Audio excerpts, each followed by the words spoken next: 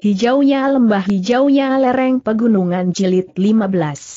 Sekali-kali lawannya memang mampu meloncat menghindar dengan kecepatannya yang melampaui kecepatan gerak Mahisa Murti, tetapi pada saat tertentu, gerak Mahisa Murti pun demikian tiba-tiba di luar perhitungan lawannya, sehingga lawannya harus menangkis serangan Mahisa Murti, sehingga dengan demikian terjadi satu benturan yang sangat keras. Tetapi sejenak kemudian, ketika lawannya sudah berhasil memperbaiki keadaannya dengan menghindari benturan-benturan berikutnya, kembali Mahisa Murti tegak bagaikan tonggak yang menghunjam ke dalam pusat bumi. Tegak dan tidak dapat digoyahkan. Pada saat yang demikian itulah, maka baik Pangeran Lembu Sabdata maupun kedua orang yang akan membebaskannya menjadi gelisah. Yang bertempur melawan Senopati dari Singasari, meskipun ia merasa dapat mengalahkannya, tetapi ternyata Senopati itu seakan-akan menjadi sangat liat. Menurut perhitungannya semuanya akan dapat segera diselesaikan, tetapi ternyata bahwa setiap kali ia menghadapi satu keadaan yang tidak diduganya. Senopati itu masih sempat menghindari serangannya yang dianggapnya akan mampu mematikannya. Karena itulah, maka kedua orang yang berusaha membebaskan Pangeran Lembu Sardata itu mulai menjadi cemas. Apalagi ketika mereka melihat, bahwa keadaan Pangeran Lembu Sabdata sendiri menjadi sulit. Dalam pada itu, Mahisa Murti tidak menyia-nyiakan setiap perkembangan keadaan. Ketika ia melihat lawannya menjadi gelisah, maka ia justru berusaha menyerang dengan hentakan-hentakan yang mendebarkan. Meskipun lawannya masih tetap manipu bergerak cepat, tetapi dalam hentakan-hentakan itu Mahisa Murti berhasil membuat benturan-benturan senjata yang sangat berpengaruh atas lawannya. Tangan lawannya yang setiap kali terasa menjadi pedih, semakin lama semakin mempengaruhi kemampuannya menggenggam senjata. Karena itu, maka lawannya itu pun harus memusatkan serangan-serangannya berdasarkan kepada kecepatan gerak. Namun dalam keadaan yang demikian, kembali Mahisa Murti bertahan pada sikapnya. Kecemasan semakin mencengkam kedua orang yang berusaha membebaskan Pangeran Lembu Sabdata. Yang melawan Senopati dari Singasari itu pun menjadi gelisah pula. Senopati itu masih juga belum dapat diselesaikan, sementara Pangeran Lembu Sabdata menjadi semakin terdesak. Agaknya Mahisa Pukat akan memenangkan perlombaan dengan lawan Senopati dari Singasari itu. Kedua orang yang berusaha membebaskan Pangeran Lembu Sabdata itu terkejut ketika mereka mendengar desis tertahan. Pangeran Lembu Sabdata terdorong surut. Agaknya pedang Mahisa Pukat telah menyentuh tubuhnya meskipun tidak terlalu dalam. Yang tidak terduga, hampir bersamaan, Mahisa Murti berhasil memancing benturan senjata yang sangat kuat. Kedua senjata yang saling membentur itu telah menimbulkan loncatan-loncatan bunga api. Demikian kerasnya benturan itu, sehingga al hampir saja senjata lawan Mahisa Murti itu terloncat dari tangannya. Saat yang demikian itulah yang ditunggu oleh Mahisa Murti. Dengan kecepatan yang mungkin dilakukan, maka ia pun telah menjulurkan pedangnya. Dengan cepat lawannya mengelak. Melampaui kecepatan gerak Mahisa Murti. Karena itu, maka senjata Mahisa Murti tidak dapat menghunjam ke dadanya, dan menyentuh jantung. Tetapi ujung senjata itu sempat pula menggores di dada lawannya, sehingga di dada itu telah tergurat selerat garis yang merekah karena darah yang mengembun. Lawan Mahisa Murti itu mengumpat. Dengan tangkasnya ia melenting menjauh. Namun dengan kemarahan yang membakar jantungnya, ia telah meloncat pula menyerang. Geraknya menjadi lebih cepat oleh kemarahan yang meluap itu. Mahisa Murti bergeser setapak. Ternyata gerak lawannya menjadi semakin sulit untuk diikutinya. Tetapi dengan perhitungan yang mapan, maka Mahisa Murti berhasil membuat lawannya mengakui kemantapan tempurnya.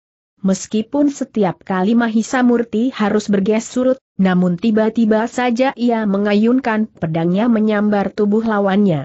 Jika lawannya mengelak, maka dengan sepenuh kemampuannya ia berusaha memburunya dengan ayunan, senjatanya, sehingga lawannya harus melindungi diri dengan senjatanya pula.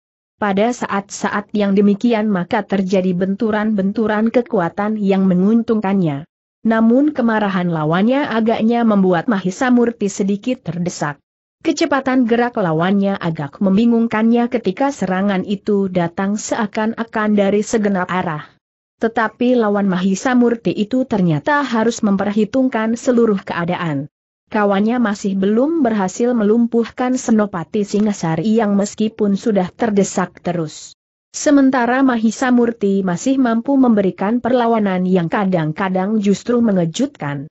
Bahkan berhasil melukai dadanya meskipun tidak terlalu dalam. Yang ternyata keadaannya kemudian paling sulit adalah Pangeran Lembu Sabdata sendiri. Ia menjadi semakin terdesak. Mahisa Pukat pun mempunyai perhitungan tersendiri atas keseluruhan medan. Ia pun berusaha berpacu untuk memenangkan pertempuran itu jika ia tidak ingin mengalami kesulitan. Apalagi ketika ia melihat bahwa Mahisa Murti ternyata juga mulai terdesak. Lawannya, yang memiliki ilmu sirep itu ternyata memang seorang yang menguasai ilmu kanuragan yang tinggi.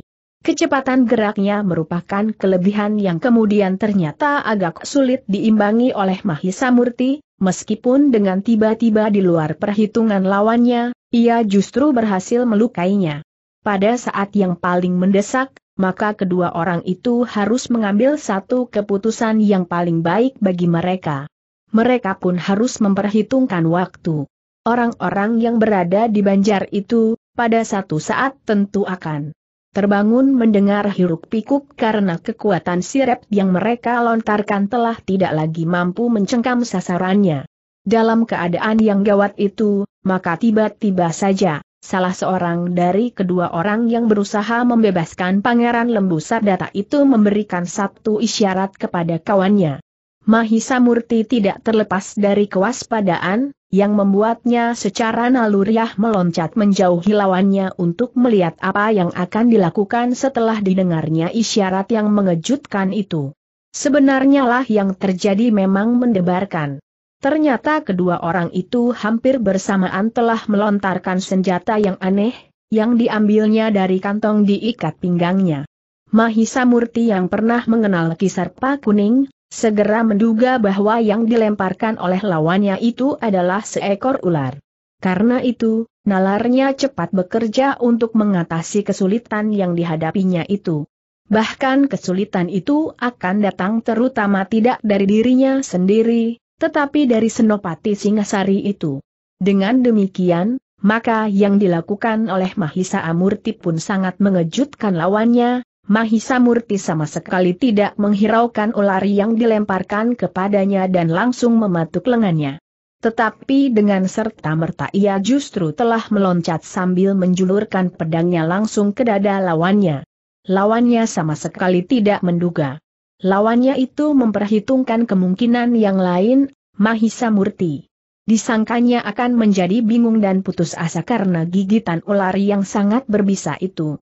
Tetapi ternyata yang dilakukan adalah lain. Karena itu, maka lawannya yang sama sekali tidak bersiaga menghadapi serangan itu berusaha untuk mengelak. Tetapi Mahisa Murti pun sempat menggerakkan pedangnya mendatar. Meskipun tidak begitu keras, tetapi pedangnya itu telah menyambar lambung lawannya yang sedang meloncat, tanpa sempat menangkisnya. Terdengar desah dari mulut lawan Mahisa Murti itu. Sebuah luka telah menganga. Lebih dalam dari luka yang tergores di dadanya. Orang itu terhuyung-huyung sejenak. Namun dengan penuh kebencian ia berkata kau akan mati. Gigitan ular itu tidak akan dapat diobati oleh siapa pun juga. Tetapi Mahisa Murti tidak menghiraukannya. Namun jantungnya bergetar ketika ia melihat Senopati itu menyeringai menahan sakit. Seekor ular membelit kakinya sambil menggigit pahanya. Dengan pedangnya Senopati itu menebas tubuh ular itu sehingga putus. Tetapi gigitan ular itu tidak segera terlepas dari kakinya. Mahisa Murti masih mendengar lawan Senopati itu tertawa. Tetapi tiba-tiba saja suara tertawanya patah di tengah ketika ia melihat kawannya terhuyung-huyung dan jatuh di tanah dengan luka di dada dan lambung. Pada saat yang demikian itulah, maka Mahisa Murti telah meloncat menyerang dengan garangnya tanpa menghiraukan seekor ular yang masih menggantung di tangannya. Serangan itu sangat mengejutkan. Lawannya benar-benar tidak menyangkanya sebagaimana kawannya yang terluka. Namun demikian, orang itu masih mempunyai kesempatan untuk mengelakkan serangan Mahisa Murti. Tetapi Mahisa Murti tidak melepaskannya. Dengan garangnya ia memburu lawannya dengan pedang yang berputaran. Goncangan perasaanlah yang sebenarnya telah menghambat tata gerak lawannya. Ketika ia melihat ular yang tergantung di lengan Mahisa Murti, justru dengan demikian serangan-serangan Mahisa Murti datang bagaikan prahara, jantungnya terasa berdentangan semakin cepat. Karena itulah, maka bukan Mahisa Murti yang menjadi bingung dan berputus asa, tetapi justru lawannya itulah. Dengan demikian, maka pada saat yang singkat dengan mengerahkan segenap kemampuan yang ada padanya, maka Mahisa Murti berhasil mendesak lawannya. Dalam putaran senjata yang cepat dan kuat, Mahisa Murti telah berhasil memaksa lawannya menangkis serangannya. Kesempatan itu tidak dilepaskan oleh Mahisa Murti. Sekali lagi ia mengayunkan pedangnya dengan segenap kemampuannya. Dan sekali lagi terjadi benturan yang sangat keras. Ternyata lawan Mahisa Murti tidak berhasil mempertahankan pedangnya.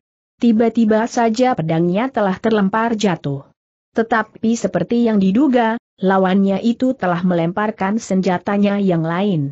Mirip sekali dengan apa yang tetah dilakukan oleh Kisarpa Kuning. Namun sekali lagi orang itu dicengkam oleh kegelisahan dan ketegangan. Mahisa Murti sama sekali tidak mengelak. Ketika seekor ular kemudian menggigit pundaknya. Bahkan dengan loncatan panjang Mahisa Murti masih tetap menyerang. Lawannya lah yang kemudian menjadi kehilangan keseimbangan berpikir. Tiba-tiba saja orang itu telah sampai kepada keputusan terakhir dari langkah yang harus diambil. Sebagaimana perintah yang dibawanya, jika ia tidak berhasil menyelamatkan Pangeran Lembu Sabdata, maka jalan yang harus ditempuhnya adalah justru membunuhnya. Karena itu, pada kesempatan terakhir itu, orang itu masih berusaha mempergunakannya untuk menjalankan perintah itu. Dengan serta-merta, maka orang itu telah berlari justru ke arah Pangeran Lembu Sabdata yang masih berusaha bertahan. Hampir di luar penglihatan mata Pangeran Lembu Sabdata sendiri orang itu telah melepaskan senjata anehnya ke arah pangeran itu. Pangeran teriak Mahisa Murti menghindarlah tetapi terlambat. Seekor ular lebih besar sedikit dari sebatang lidi telah melekat di punggungnya, sekaligus mematuknya. Gila teriak Pangeran Lembu Sabdata. Mahisa Pukat telah terkejut pula karenanya. Tiba-tiba saja Pangeran Lembu Sabdata telah melemparkan senjatanya dan mengibaskan seekor ular yang melekat di punggungnya dengan laku seperti orang yang kesurupan. Jangan kebingungan Pangeran teriak Mahisa Murti pula. Sementara itu, pedangnya telah berhasil menggores tubuh orang yang telah melemparkan ular ke punggung Pangeran Lembu Sabdata. Sejenak orang itu terhuyung-huyung. Namun sejenak kemudian orang itu telah terjatuh di tanah. Dalam pada itu, Mahisa Murti pun kemudian berkata cepat. Selamatkan pangeran dari bisa ular itu. Barulah Mahisa Pukat sadar apa yang telah terjadi.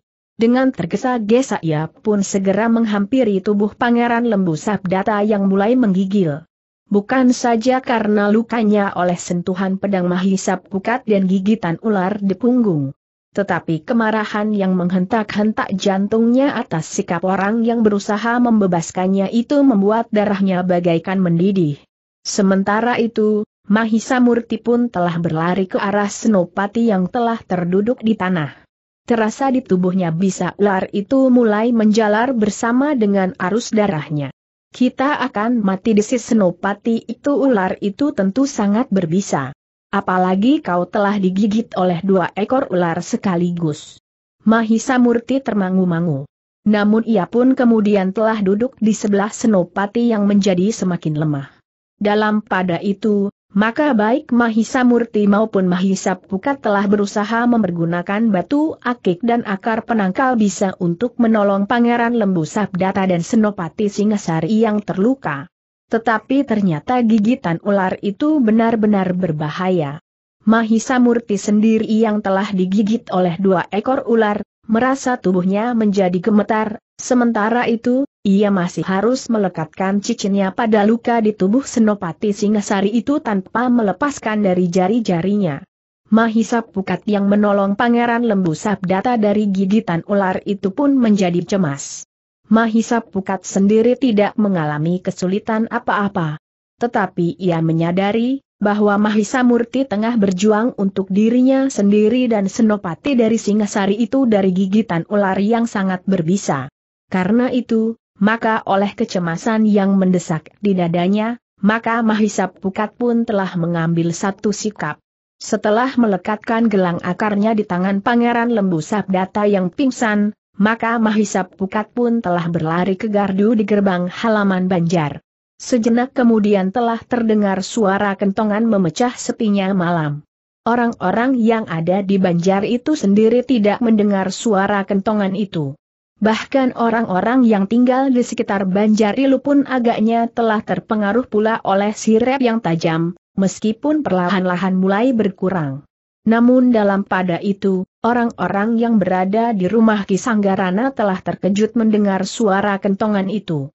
Lebih-lebih Ki Waruju yang sejak sore telah merasakan satu keadaan yang tidak wajar menurut petunjuk firasatnya. Karena itu, maka beberapa orang dengan tergesa-gesa telah pergi ke Banjar. Termasuk Pangeran Singanarpada dan Ki Waruju di samping Kisanggarana sendiri kalian tinggal di sini pesan Pangeran Singanar pada kepada beberapa orang yang datang ke kabuyutan itu bersamanya tetapi berhati-hatilah. Agaknya kita memang harus berjaga-jaga. Kisanggarana pun telah memberikan beberapa pesan pula kepada para pemimpin anak-anak muda Talang Amba yang menjadi berdebar-debar mendengar kentongan itu, sementara beberapa orang prajurit Singasari pun telah bersiap untuk mengadakan pengamatan di padukuhan induk itu. Bahkan pemimpin yang bertanggung jawab atas seluruh pasukan Singasari di Talang Amba telah memerintahkan untuk menghubungi beberapa padukuhan yang lain agar mereka berhati-hati. Ketika orang-orang yang gelisah itu datang ke Banjar, maka mereka pun segera mengetahui apa yang terjadi. Beberapa orang masih tetap tidur silang melintang. Sementara itu, dengan jantung yang berdebaran, Kiwaruju berlari-lari menemui Mahisap Pukat yang masih saja membunyikan kentongan. Bahkan di beberapa gardu yang justru terletak agak jauh dari Banjar, suara kentongan itu sudah disaut dan menjalar dari padukuhan ke padukuhan lainnya. Apa yang terjadi bertanya Ki Warujo. Sirep jawab Mahisa Pukat yang meletakkan pemukul kentongannya Mahisa Murti sedang bekerja keras untuk menyelamatkan seorang senopati dari Singasari, sementara itu Pangeran Lembu Sabdata pun telah terkena racun ular yang sangat berbisa di mana bertanya Pangeran Singanar pada yang mendengar jawaban Mahisa Pukat. Mahisa Pukat pun kemudian membawa mereka ke ruang dalam. Dengan hati yang berdebar-debar Ki Waruju pun segera berlari ke arah Mahisa Murti yang mulai menjadi sangat letih. Racun yang bekerja di dalam dirinya cukup kuat untuk mengguncang pertahanannya. Tetapi justru karena ia harus membantu menyelamatkan seorang senopati dari Singasari itulah, maka beban penangkal racunnya menjadi terlalu berat. Di mana penangkal racunmu bertanya Ki Waruju kepada Mahisa Pukat. Sambil menunjuk ke arah Pangeran Lembu Sabdata yang terbaring, Mahisa Pukat berkata Pangeran Lembu Sabdata juga mengalami keadaan yang gawat. Kau obati Pangeran Lembu Sabdata dengan penangkal racunmu bertanya Ki Waruju. Ya. Semula pangeran itu menggigil. Namun kemudian menjadi pingsan jawab Mahisa Pukat. Kiwaruju tidak bertanya lebih banyak lagi. Ia tidak boleh terlambat. Karena itu, maka ia pun segera berusaha untuk membantu Mahisa Murti. Mahisa Murti desis Kiwaruju lepaskan senopati itu. Mahisa Murti termangu-mangu. Dengan lemah ia, menjawab ia akan mati jika tidak ada pertolongan baginya. Aku akan menolongnya jawab Kiwaruju. Mahisa Murti menyadari, bahwa Ki Waruju pun memiliki penangkal bisa pula seperti dirinya dan Mahisa Pukat.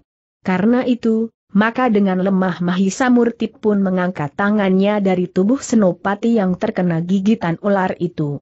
Kau akan mampu menolong dirimu sendiri berkata Ki Warujo. Mahisa Murti mengangguk. Sementara itu, Ki Warujulah yang kemudian membantu Senopati itu dengan penangkal racunnya. Dalam pada itu, Pangeran Singanar Padat pun telah berdiri di sisi tubuh Pangeran Lembu Sabdata. Dengan wajah tegang ia bergumam satu usaha untuk menghilangkan jejak. Jika Adimas Lembu Sabdata terbunuh, maka sulit bagi kita untuk menelusuri jejak pengkhianatannya. Mahisa Pukat Ying kemudian berjongkok di sisi tubuh itu pun berdesis ia mulai sadar. Syukurlah jawab Pangeran Singanar pada. Sementara itu, oleh penangkal racun Mahisa Pukat, sebenarnya lah keadaan Pangeran Lembu Sabdata menjadi berangsur-angsur baik. Perlahan-lahan racun yang telah mengalir di urat darahnya bagaikan terdorong kembali ke luka gigitan ular di punggungnya. Kemudian perlahan-lahan, dari luka itu telah mengalir darah yang kehitam-hitaman. Baru kemudian, darahnya yang merah mulai meleleh dari luka itu. Sejenak kemudian Pangeran Lembu Sabdata pun telah menjadi sadar. Luka-lukanya menjadi tidak lebih dari luka biasa yang tidak seberapa besarnya. Namun tubuhnya terasa masih terlalu lemah. Ketika pangeran itu membuka matanya, maka yang dilihatnya adalah pangeran Singanar pada yang berdiri tegak di sisinya berbaring. Perlahan-lahan Pangeran Lembu Sabdata bangkit dibantu oleh Mahisap Pukat dan duduk bertelekan kedua tangannya.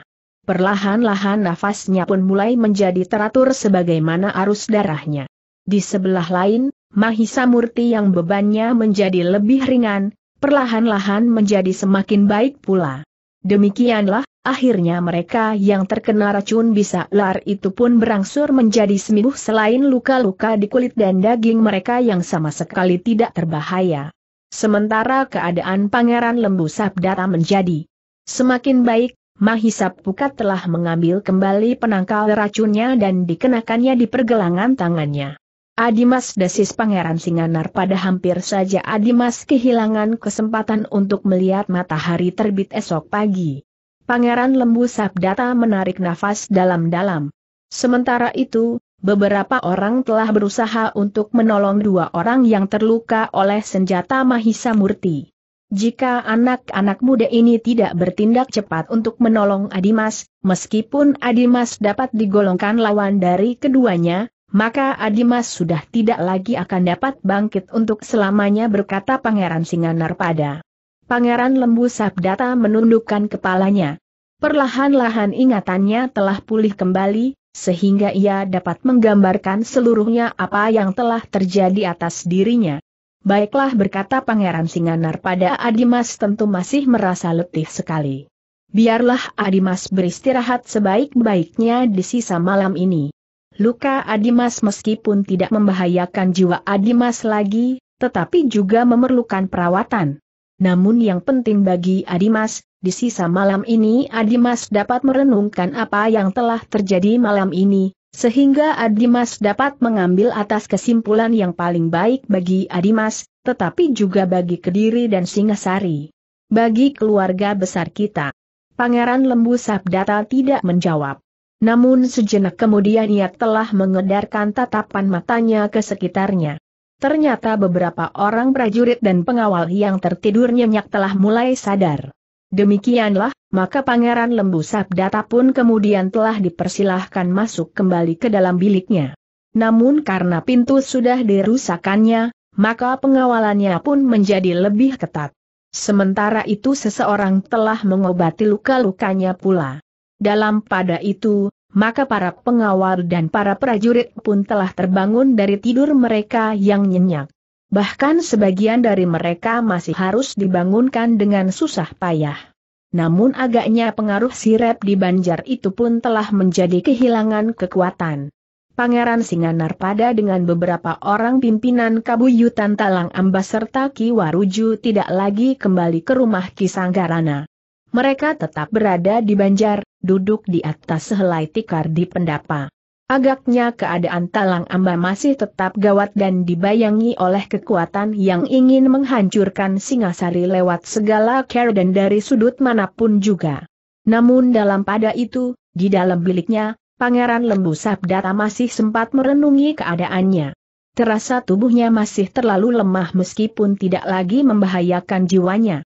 Tetapi peristiwa yang baru saja terjadi, justru telah membakar penilaiannya atas keadaan yang dihadapinya. Dengan sepenuh hati ia telah berjuang untuk kepentingan beberapa orang saudaranya yang bersepakat untuk menghancurkan Singasari dan membangunkan kembali kekuasaan Kediri yang telah dirampas oleh Kainarok, Aku Tumapel dan yang kemudian telah membangun Singasari yang berkembang dengan perkasa. Tetapi hasilnya sama sekali tidak berarti. Bahkan ketika dua orang di antara lingkungannya yang gagal menolongnya, justru telah sampai hati berusaha untuk membunuhnya. Dengan demikian maka Pangeran Lembu Sabdata pun kemudian menyadari keadaan dirinya sendiri. Aku tidak lebih dari alat saja gumam Pangeran Lembu Sabdata di dalam hatinya jika mereka merasa tidak lagi dapat mempergunakan aku, atau justru berbahaya bagi kedudukan mereka, maka mereka tidak segan-segan untuk membunuhnya. Tiba-tiba saja Pangeran Lembu Sabdata menggeram. Tetapi ia pun kemudian tidak berusaha untuk memecahkan persoalan yang sedang dihadapinya. Tiba-tiba saja ia menjadi malas berpikir. Hampir di luar sadarnya. Pangeran Lembu Sabdata yang menjadi sangat kecewa itu telah membaringkan dirinya. Ia tidak peduli lagi, apa yang terjadi di luar biliknya yang pintunya telah rusak itu. Aku akan tidur. Persetan dengan keadaan yang kusut ini desisnya. Sementara Pangeran Lembu Sabdata berbaring, maka Mahisa Murti dan Mahisa Pukat sedang menunggui orang-orang yang berusaha mengombati dua orang yang terbuka oleh pedang itu. Ternyata luka itu cukup parah sehingga sulit bagi orang-orang yang berusaha menolongnya untuk mempertahankan hidup kedua orang itu tetapi mereka masih tetap berusaha. Tidak ada gunanya salah seorang dari kedua orang itu berdesis. Kami harus berusaha jawab orang yang menolongnya. Tetapi orang itu menggeleng lemah. Namun sementara itu, Mahisa Murti pun telah bertanya Hi, apakah kau murid atau saudara seperguruan Kisar Pakuning? Persetan dengan Serpa Kuning orang itu menggeram. Tetapi keadaannya justru menjadi semakin buruk. Sehingga orang-orang yang menunggui keduanya pun menjadi putus asa. Agaknya kedua orang itu memang sulit untuk ditolong jiwanya. Namun dalam pada itu, orang-orang Talang Amba dan para prajurit Singasari masih tetap berusaha. Jika keduanya dapat ditolong jiwanya, maka keduanya pun akan dapat menjadi sumber keterangan yang barangkali bermanfaat. Dengan hati-hati kedua orang itu pun kemudian telah dibawa ke dalam sebuah bilik di bagian belakang banjar itu. Namun demikian, para prajurit Singasari yang memiliki pengalaman yang cukup, tidak lepas dari kewaspadaan. Kedua orang itu telah mendapat pengawalan yang sangat ketat. Tetapi ternyata bahwa yang diharapkan itu hanyalah sekedar harapan saja. Karena luka-lukanya, maka kedua orang itu tidak lagi dapat diselamatkan jiwanya. Seorang demi seorang keduanya telah menarik nafas terakhir, sebelum mereka sempat mengatakan sesuatu kepada para prajurit Singasari dan orang-orang Talang Amba. Ketika Pangeran Singanarpada mendapat laporan tentang hal itu, maka ia pun menarik nafas dalam-dalam sambil berkata apa boleh buat. Sebenarnya mereka merupakan orang-orang penting bagi kita. Kiwaruju mengangguk-angguk. Namun kematian memang tidak akan dapat ditawar apa pun sebabnya. Jika batas waktu itu telah datang, maka setiap orang akan tinggal menjalaninya dengan lantaran yang berbeda-beda. Sementara itu, Senopati Singasari yang memimpin para prajurit yang bertugas di Banjar itu pun telah menjadi berangsur baik sebagaimana Pangeran Lembu Sabdata. Di serambi belakang, di antara beberapa orang kawannya ia berbaring untuk menenangkan diri. Luka-lukanya yang telah diobati itu masih terasa pedih, tetapi sudah tidak berbahaya lagi bagi jiwanya, karena bisa ular yang menyusup ke dalam darahnya telah terhisap keluar. Untunglah ada anak-anak muda itu berkata Senopati itu kepada kawannya tanpa mereka, segalanya akan menjadi rusak. Mungkin pangeran itu telah tidak akan dapat kita ketemukan lagi. Keduanya pantas mendapat kehormatan desis kawannya. Ketika Pangeran Singanarpada mendapat laporan tentang hal itu, maka ia pun menarik nafas dalam-dalam sambil berkata apa boleh buat. Sebenarnya mereka melupakan orang-orang penting bagi kita. Lukaku karena gigitan ular berbisa itu pun telah mendapat pertolongannya pula, sehingga nyawaku dapat diselamatkan desis Senopati itu tetapi Mahisa Murti sendiri mula-mula mengalami kesulitan karena penangkal racunnya harus bekerja terlalu berat.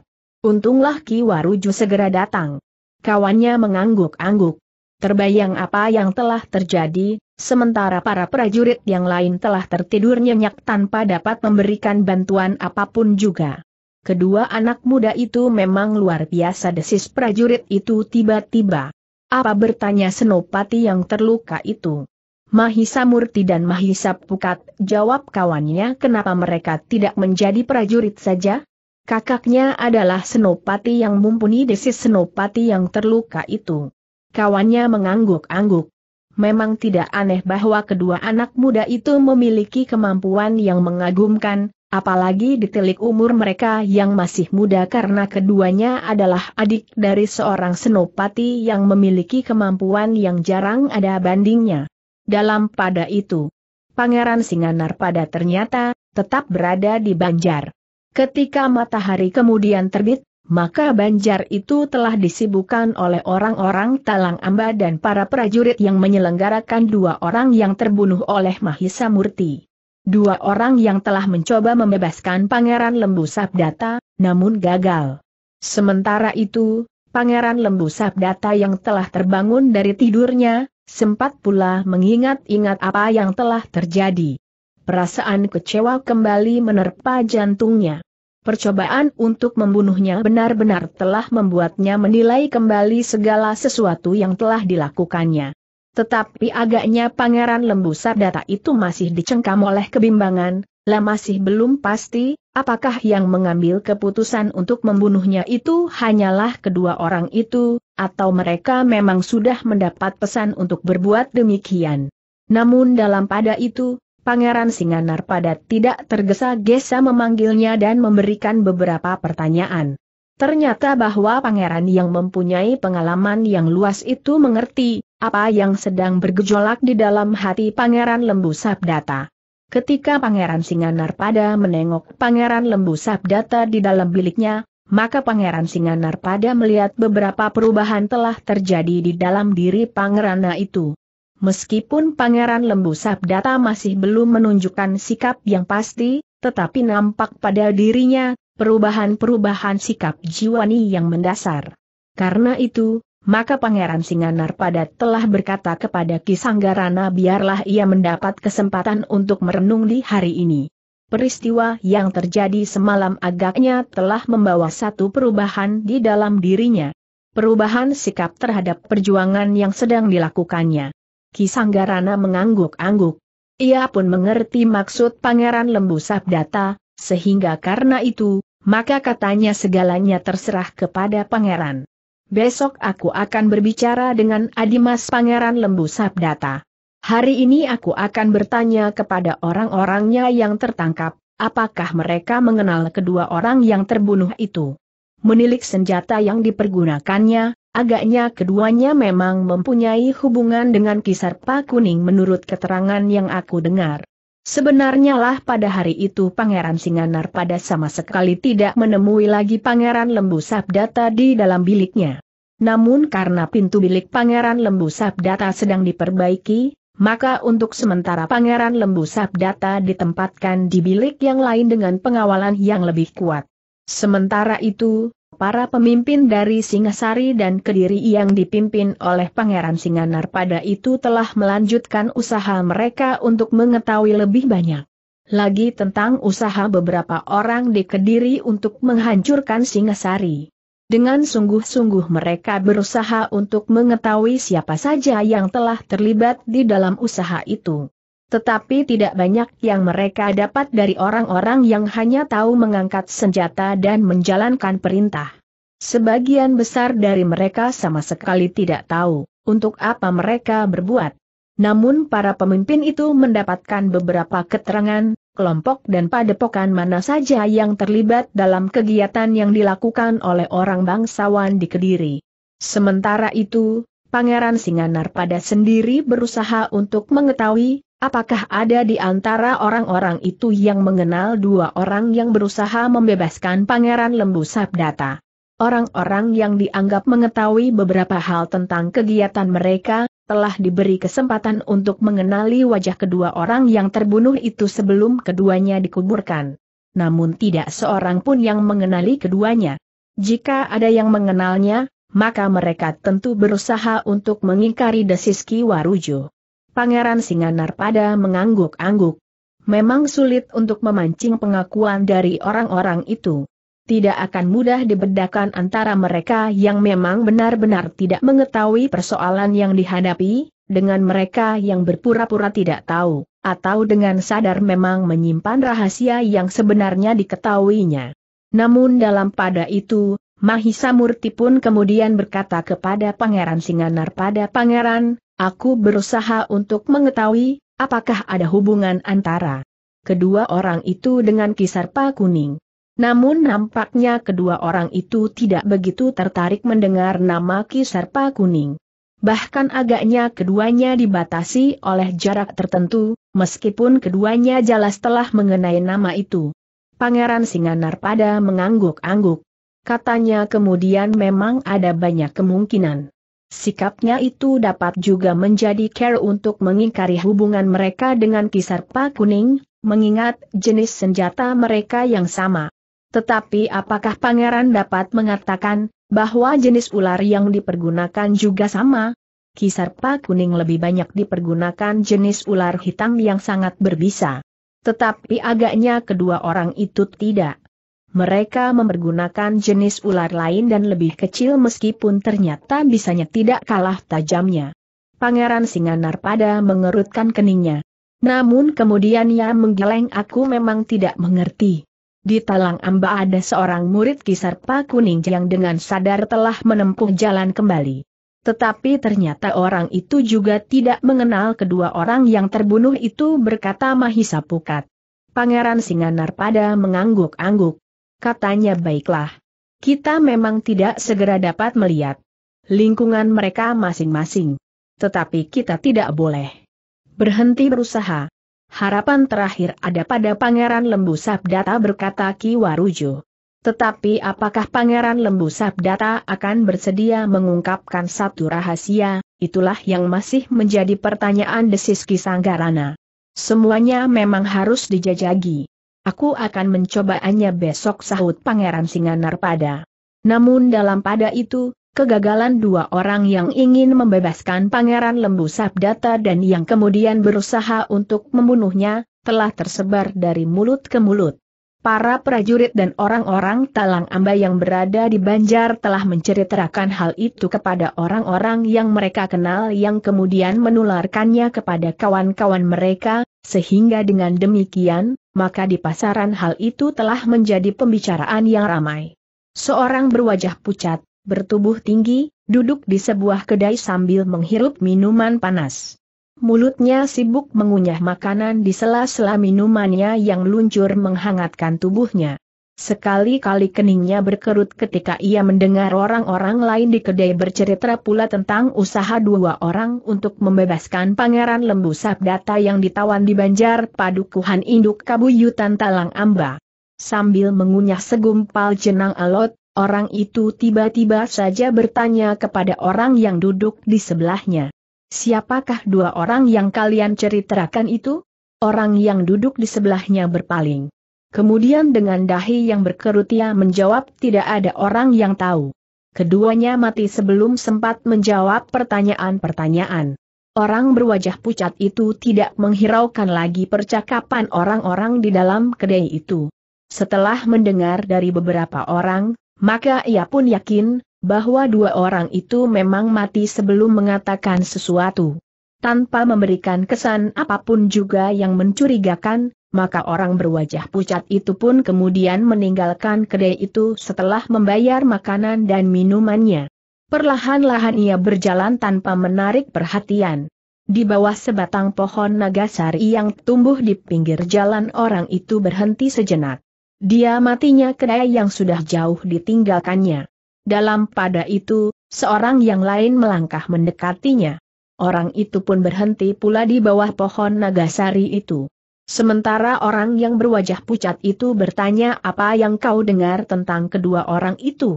Keduanya telah mati jawab orang yang baru datang, orang yang bertubuh sedang dan berambut keriting. Orang yang berwajah pucat menarik nafas dalam-dalam. Katanya keduanya sudah berusaha dengan sebaik-baiknya. Tetapi ternyata di antara orang-orang Talang Amba dan prajurit Singasari yang ada di Banjar mampu melawan Sirep, sehingga keduanya justru telah terjebak. Ya sahut kawannya bahkan seorang di antara keduanya telah berhasil mengambil langkah berikutnya ketika keduanya merasa usahanya untuk membebaskan Pangeran Lembu Sabdata gagal. Ya, ularnya telah mematuk pangeran itu. Tetapi justru orang Talang Amba telah menyelamatkannya jawab yang lain. Itulah yang mencemaskan. Bukankah dengan demikian pangeran itu akan merasa diselamatkan dan berhutang budi? Jika dalam keadaan yang demikian ia kehilangan kesetiaannya kepada pangeran kuda permati, maka semua rahasia akan tumpah lewat mulutnya. Padahal menurut pangeran kuda permati, Pangeran Lembu Sabdata mengetahui cukup banyak tentang rencana yang sudah tersusun berkata orang yang berambut keriting. Kawannya menarik nafas dalam-dalam. Lalu katanya apa yang dapat kita lakukan dalam keadaan seperti ini. Sirep agaknya sudah tidak akan berarti apa-apa lagi. Nampaknya racun ular pun tidak berhasil menyelesaikan tugas-tugas berat sebagaimana harus dilakukan, karena orang-orang Talang Amba dan prajurit Singasari di Talang Amba mempunyai penangkal racun yang kuat. Sementara itu, Pangeran Singanarpada akan dapat berbuat jauh lebih kasar dari yang kita duga, meskipun ia menghadapi adiknya sendiri, Pangeran Lembu Sabdata. Bahkan seandainya kesetiaan Pangeran Lembu Sabdata tetap utuh, apakah ia akan dapat bertahan menghadapi Pangeran Singanarpada? Orang yang berambut keriting itu termangu-mangu. Namun sambil menggeleng ia berkata tidak ada jalan lain yang dapat kita tempuh. Mungkin kita akan dapat memanjat atap dan melontarkan beberapa ekor ular dari atap. Tetapi gigitan ular itu akan segera kehilangan arti, karena Pangeran Lembu Sabdata akan segera memanggil orang-orang talang amba yang akan dapat memudarkan kemampuan racun bisa ular itu. Orang yang berwajah pucat itu pun mengangguk-angguk. Kemudian katanya memang tidak ada jalan yang dapat kita tempuh. Kita tidak perlu membunuh diri dengan melakukan langkah-langkah yang tidak berarti. Sebaiknya, kita kembali ke Kediri dan membuat laporan selengkapnya apa yang telah terjadi sebelum Pangeran Singanar pada menempuh jalan yang lebih keras di Kediri sendiri menghadapi Pangeran Kuda Permati. Meskipun belum tentu jika Pangeran Singanar pada akan dapat mengalahkan Pangeran Kuda Permati dengan pengikutnya yang sudah mulai berkembang. Pangeran Kuda Permati yakin bahwa perjuangannya tentu akan berhasil. Pada satu saat, Kediri tentu akan berhasil melepaskan diri dari Singasari dan bahkan akan dapat menekan Singasari untuk menjadi Pakuwon sebagaimana sebelumnya. Pakuwon tumapel desis orang berambut keriting itu. Kawannya mengangguk-angguk. Kemudian katanya jika demikian, marilah. Kita kembali ke Kediri kita melaporkan apa yang telah terjadi. Tetapi kita masih belum dapat memastikan apa yang akan dilakukan oleh Pangeran Lembu Sabdata. Mungkin ia akan tetap dalam kesetiaannya. Tidak satu kata pun yang diucapkan akan mengungkapkan rahasia Pangeran Kuda Permati berkata orang berambut keriting itu. Apa pun yang dikatakan, kita akan melaporkannya kepada Pangeran Kuda Permati jawab orang berwajah pucat itu. Dengan demikian, maka mereka pun segera mengambil kesimpulan untuk meninggalkan daerah Talang Amba, kembali ke Kediri. Mereka sekali lagi harus melaporkan kegagalan, sebagaimana pernah terjadi sebelumnya. Kegagalan demi kegagalan. Dalam pada itu, di hari berikutnya, ternyata Pangeran Singanar Padat telah siap untuk berbicara dengan Pangeran Lembu Sabdata. Karena itu, maka Pangeran Singa Narpada pun telah minta kesempatan untuk menemui pangeran itu di dalam biliknya yang sudah diperbaiki.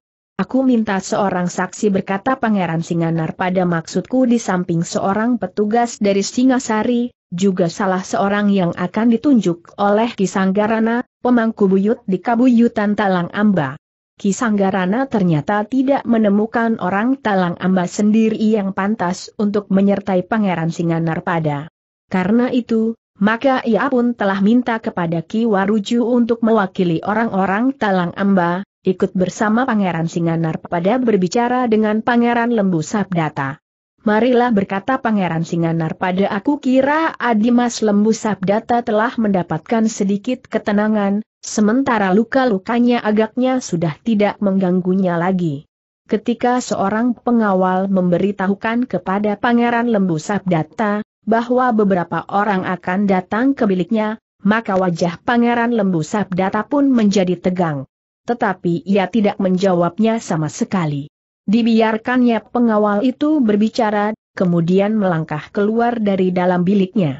Sejenak kemudian, maka seperti yang dikatakan oleh pengawal itu, bahwa Pangeran Singanarpada dengan seorang pemimpin pemerintahan dari Singasari dengan diikuti oleh Ki Waruju telah memasuki bilik itu. Selamat pagi Adimas desis Pangeran Singanarpada. Pangeran Lembu Sabdata memandanginya sejenak. Kemudian ia pun beringsut menepi. Nampaknya Pangeran Lembu Sabdata telah memberikan tempat kepada ketiga orang yang memasuki bilik itu untuk duduk di pembaringannya, sebuah hamben yang memang agak besar. Pangeran Singanarpada dan kedua orang yang menyertakan itulah telah duduk di amben itu. Sementara itu, Pangeran Lembu Sabdata pun selalu menundukkan kepalanya. Baru sejenak kemudian Pangeran Singanarpada itu pun berkata Adimas Pangeran.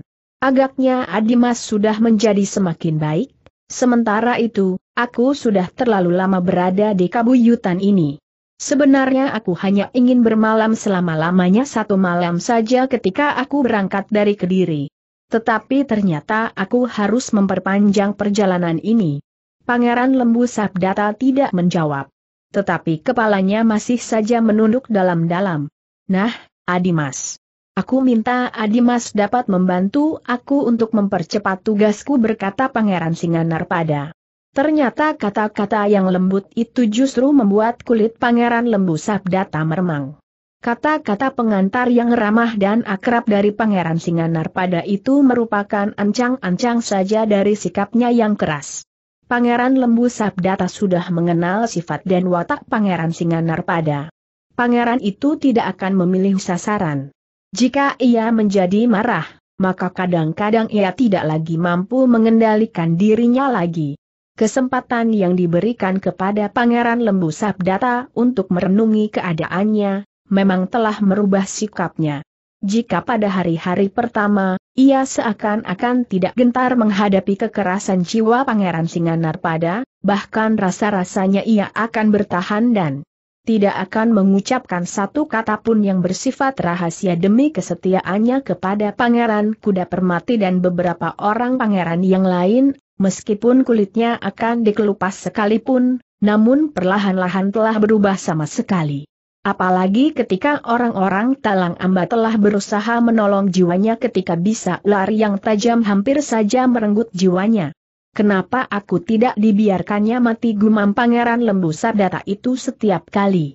Meskipun Pangeran Lembu Sabdata sadar, bahwa usaha orang-orang Talang Amba dan Singasari menolongnya tentu didorong oleh kepentingan mereka untuk mendapatkan rahasia yang diketahuinya, namun kekecewaan yang tidak terkirakan telah mencengkam jantungnya atas langkah yang telah diambil oleh orang-orang yang berusaha menolongnya. Pangeran Lembu Sabdata yang merenungi keadaannya, telah mengambil satu kesimpulan, bahwa kedua orang itu tentu telah mendapat perintah jika mereka gagal melepaskan Pangeran Lembu Sabdata maka mereka justru harus membunuhnya saja. Dengan demikian, maka Pangeran Lembu Sabdata dapat mengambil satu kesimpulan, jika seseorang sudah tidak diperlukan lagi, bahkan dianggap akan dapat mengungkapkan rahasia yang tersimpan di dalam dirinya, maka orang itu harus dibunuh. Pangeran Lembu Sabdata menjadi sangat kecewa akan sikap itu. Karena itu, maka setelah merenungi keadaannya, maka ia telah memutuskan untuk tidak membiarkan dirinya mengalami kesulitan menghadapi Pangeran Singanarpada. Jika Kakang Mas Pangeran Kuda Permati sampai hati mengambil satu keputusan untuk membunuhnya, maka aku pun sampai hati pula mengungkapnya segala rahasianya berkata Pangeran Lembu Sabdata di dalam hatinya. Sebenarnya lah jika Pangeran Kuda Permati tetap mempercayakan dan tidak berusaha untuk membunuhnya, maka agaknya Pangeran Lembu Sabdata pun akan tetap pula pada sikapnya. Semua rahasia yang ada di dalam dirinya, akan dibawanya mati. Karena itu, maka Pangeran Lembu Sabdata justru tidak lagi menjadi sangat tegang menghadapi Pangeran Singanarpada dan kedua orang yang menyertainya. Adimas berkata Pangeran Singanar pada kemudian bagaimana keadaan Adimas sekarang? Bukankah lukamu memang sudah menjadi baik? Pangeran Lembu Sabdata baru mengangkat wajahnya. Jawabnya aku sudah sembuh kakang mas. Luka itu tidak seberapa. Syukurlah. Jika demikian, maka aku akan dapat muiai dengan beberapa hal. Seperti yang sudah aku katakan, maka aku ingin Adimas membantu aku, agar pekerjaanku cepat selesai berkata Pangeran Singanarpuda. Baiklah jawab Pangeran Limbu Sabdata apa yang sebenarnya ingin Kakang Mas ketahui? Usaha untuk membunuhku itu membuatku menjadi mendendam. Karena itu, maka tugas Kakang Mas memang akan cepat selesai. Pangeran Singanarpada mengerutkan keningnya. Sementara itu Pangeran Lembu Sabdata berkata sebenarnya aku sama sekali tidak ingin merubah sikapnya atas Kediri dan Singasari. Tetapi ternyata orang-orang yang selama ini telah bekerja bersamaku, sama sekali tidak mempunyai landasan kepercayaan yang satu kepada yang lain, sehingga justru karena itu, maka aku dengan sengaja akan mengkhianati mereka.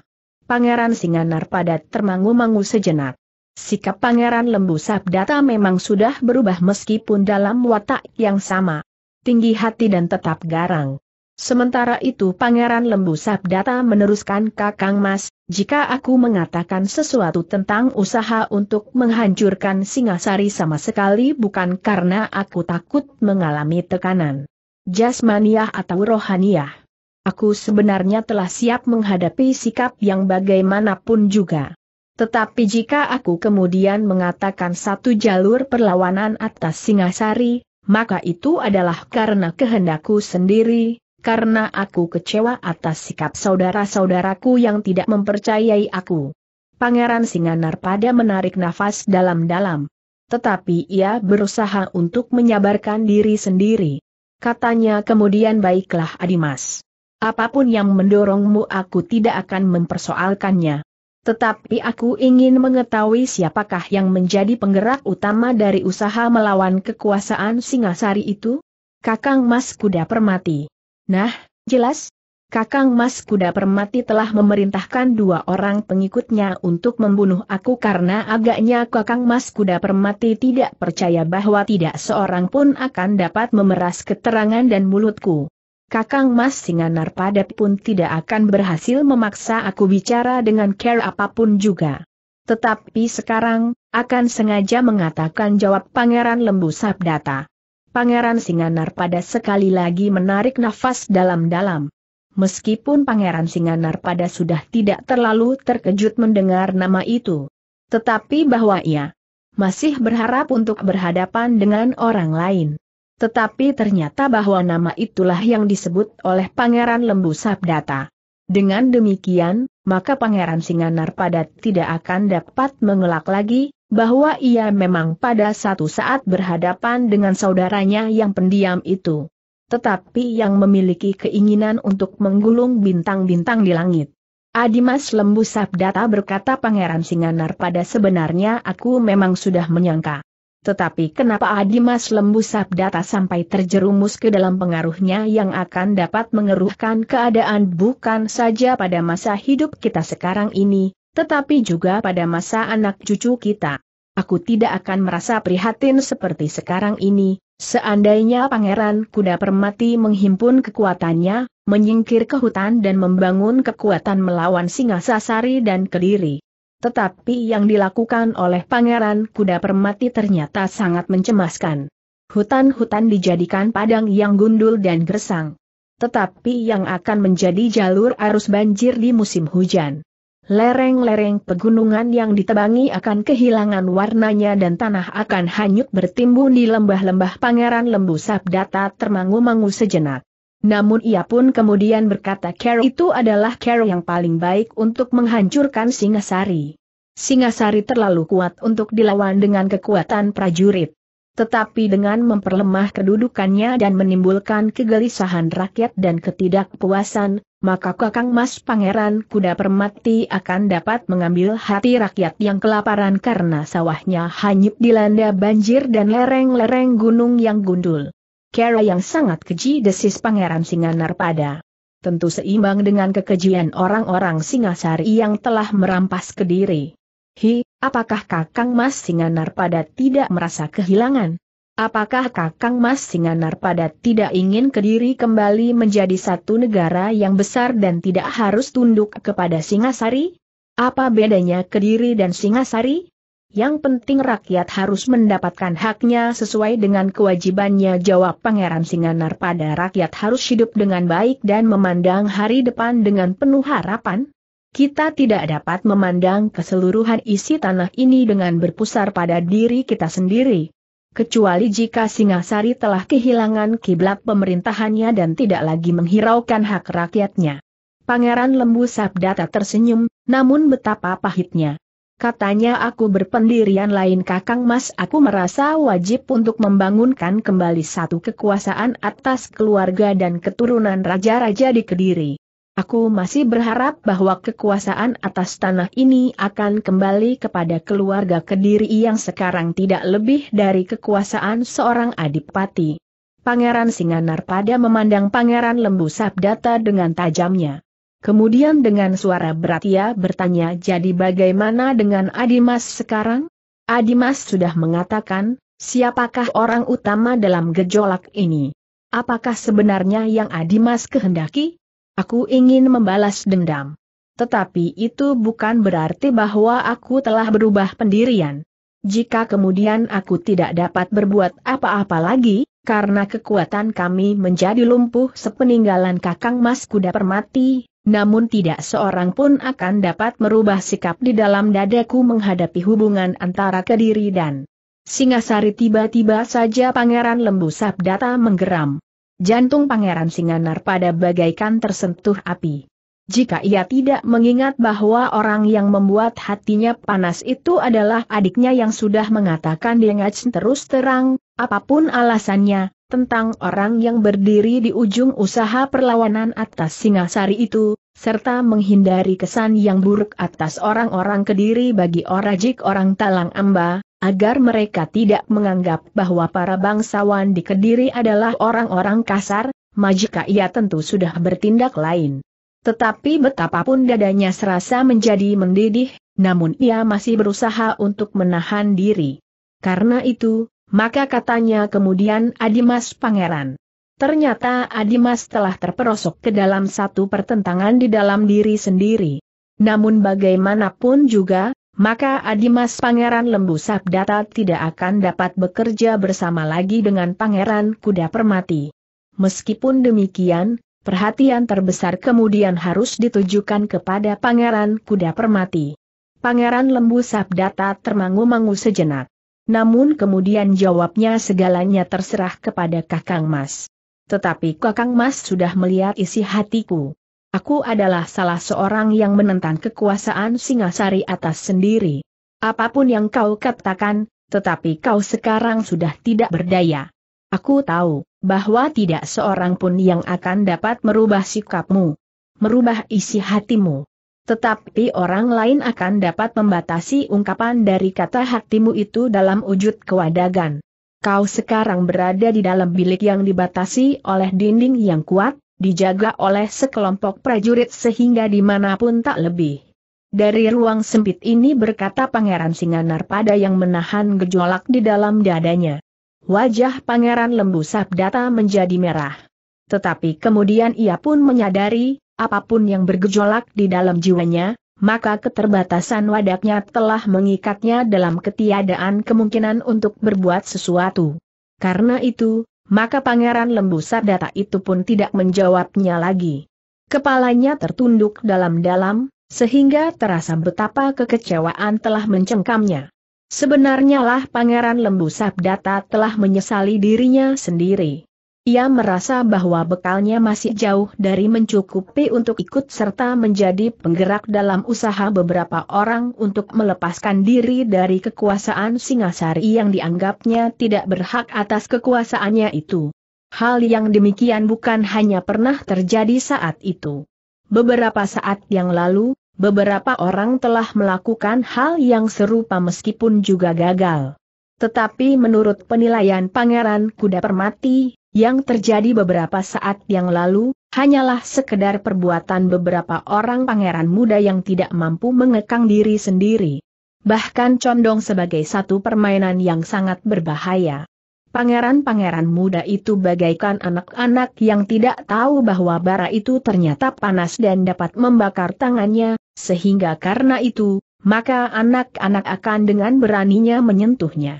Sedangkan yang dilakukan oleh Pangeran Kuda Permati agaknya telah dipikirkannya masak-masak.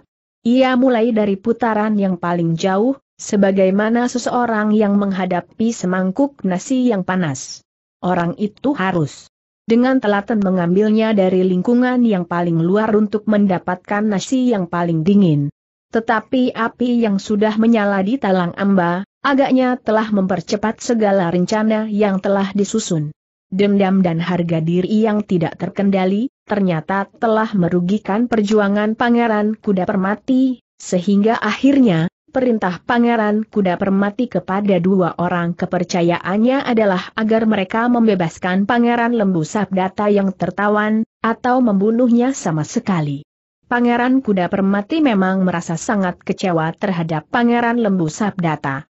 Ternyata bahwa yang dijanjikan sama sekali tidak dapat diwujudkan bahwa dengan kekuatan yang dipercayakan kepadanya untuk menghancurkan talang amba, dengan kesanggupan bahwa usaha itu tidak akan gagal karena ia sudah mengirimkan beberapa pengawas mendahului pasukannya, ternyata sama sekali tidak dapat diwujudkannya.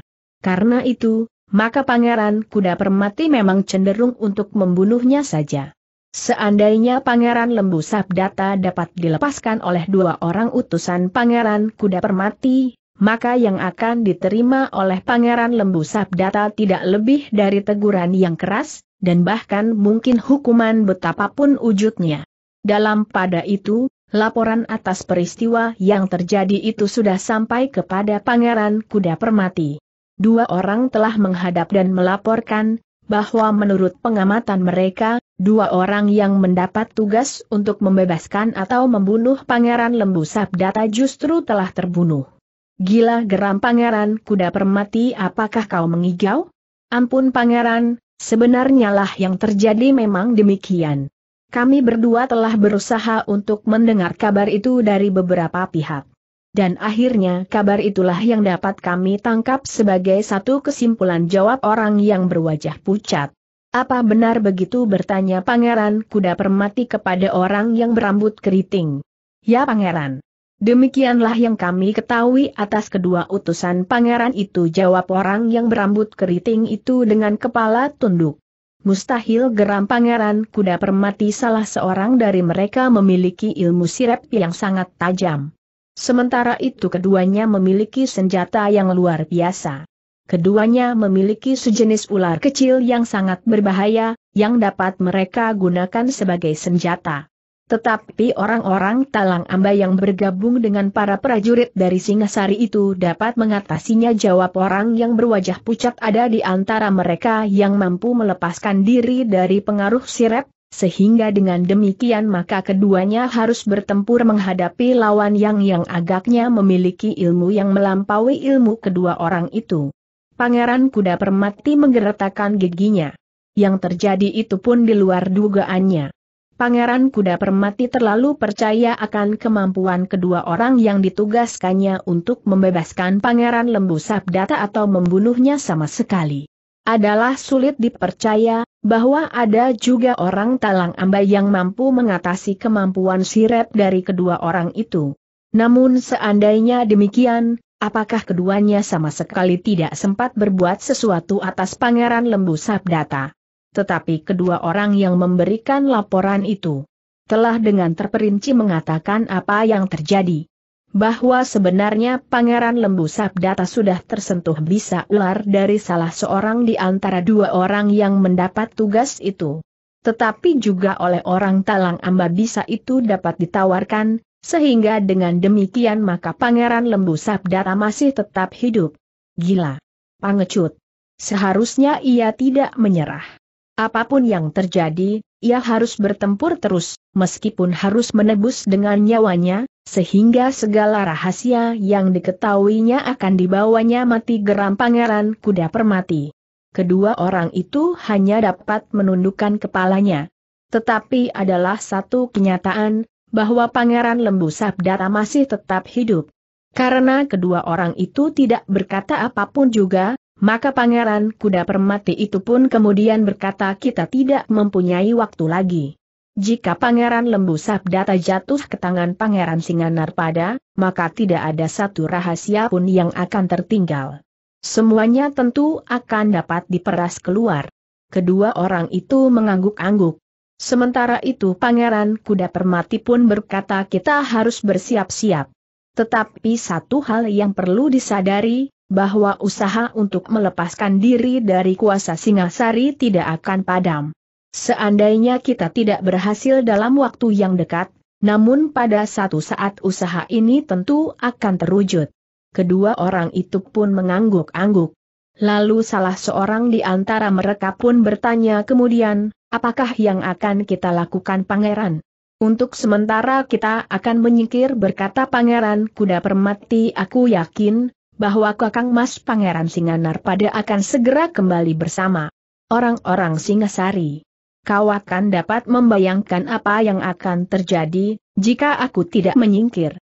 Adimas Lembu Sabdata tentu sudah mengatakan segala sesuatu tentang aku. Tetapi untunglah bahwa aku telah meletakkan diriku menjadi orang pertama, sehingga dengan demikian, tentu ada orang-orang lain yang masih dapat dilindungi. Kedua orang itu pun mengangguk-angguk pula. Tetapi keduanya tidak yakin akan keterangan Pangeran Kuda Permati. Menurut pengamatan mereka, Pangeran Lembu Sabdata adalah salah seorang di antara mereka yang banyak mengetahui tentang susunan kepemimpinan dari mereka yang telah menyatakan diri menentang kuasa Singasari atas Kediri. Tetapi keduanya tidak mengatakan sesuatu. Bahkan keduanya berharap bahwa perhitungan Pangeran Kuda Permati itu benar. Demikianlah, sebelum Pangeran Singanar pada kembali ke Kediri bersama orang-orang Singasari, maka Pangeran Kuda Permati telah bersiap-siap untuk meninggalkan Kediri. Namun sebenarnya lah bahwa Pangeran Kuda Permati bukan orang yang tidak berperhitungan. Sebenarnya lah sebelum terjadi kesulitan itu, Pangeran Kuda Permati telah menyiapkan tempat yang akan dapat menjadi landasan perjuangannya kemudian. Tetapi Pangeran Kuda Permati tidak akan menyingkir dengan seluruh keluarganya. Ia tahu, bahwa ia akan menempuh satu cara hidup yang sulit. Karena itu, maka ketika semua persiapan sudah dilakukan, ia pun membicarakan rencana kepergiannya dengan istrinya. Jadi Kakang Mas akan meninggalkan kami. Aku dan anak perempuan Kakang Mas itu bertanya istrinya. Dengarlah di Ajeng. Bukan maksudku untuk memisahkan diri dengan kau dan anak kita. Tetapi perjuangan masih panjang. Aku harus menyingkir. Dan aku dapat membayangkan, perjalanan yang akan aku tempuh adalah perjalanan yang sangat sulit jawab Pangeran Kuda Permati. Tetapi aku tidak berkeberatan Kakang Mas, seandainya aku harus ikut menempuh perjalanan yang betapapun sulitnya itu desis istrinya yang mulai berkaca-kaca. Tetapi Pangeran Kuda Permati berkata pada satu saat aku akan kembali menjemputmu jika segalanya sudah menjadi pasti. Jika aku sudah menemukan satu tempat berteduh yang baik bersama seluruh pengikutku. Apakah Kakang Mas berkata sebenarnya bertanya istrinya? Ya.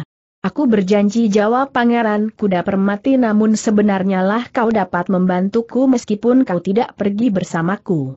Justru hal itu merupakan salah satu pertimbangan, kenapa aku minta kau tinggal. Apa yang dapat aku lakukan bertanya istrinya. Kau adalah adik dari istri Kakang Mas Singanarpada.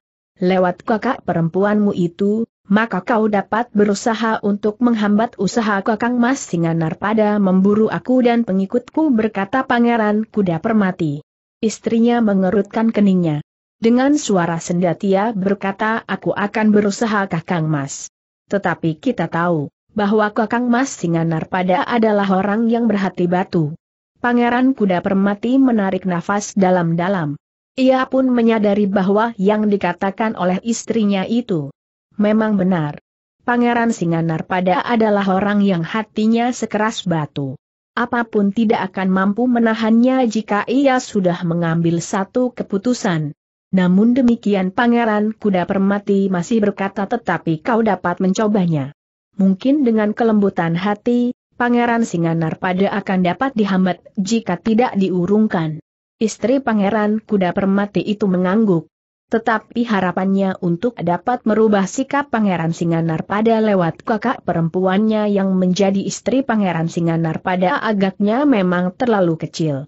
Dalam pada itu, sebelum Pangeran Singanarpada kembali dengan membawa Pangeran Lembu Sabdata, maka Pangeran Kuda Permati telah meninggalkan Kediri. Tidak seorang pun mengetahui ke mana, selain para pengikutnya. Namun Pangeran Kuda Permati pun tidak begitu bodoh untuk membawa semua pengikutnya menghilang dari kota raja. Beberapa orang pengikutnya yang berani masih tetap berada di kota Raja Inasi Dayam kesatuan mereka. Mereka bertugas untuk mengamati langkah-langkah yang akan diambil oleh Pangeran Singanarpada.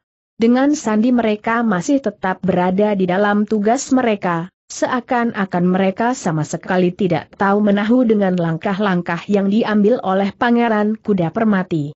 Kepergian Pangeran Kuda Permati dan para pengikutnya memang mengejutkan Kediri. Tetapi teka-teki itu tidak lama. Ketika persoalan itu sedang menjadi pembicaraan yang ramai, maka Pangeran Singanarpada telah sampai di Kediri dengan tergesa-gesa. Tetapi Pangeran Singanarpawa itu menjadi kecewa, karena ternyata bahwa Pangeran Kuda Permati sudah tidak ada.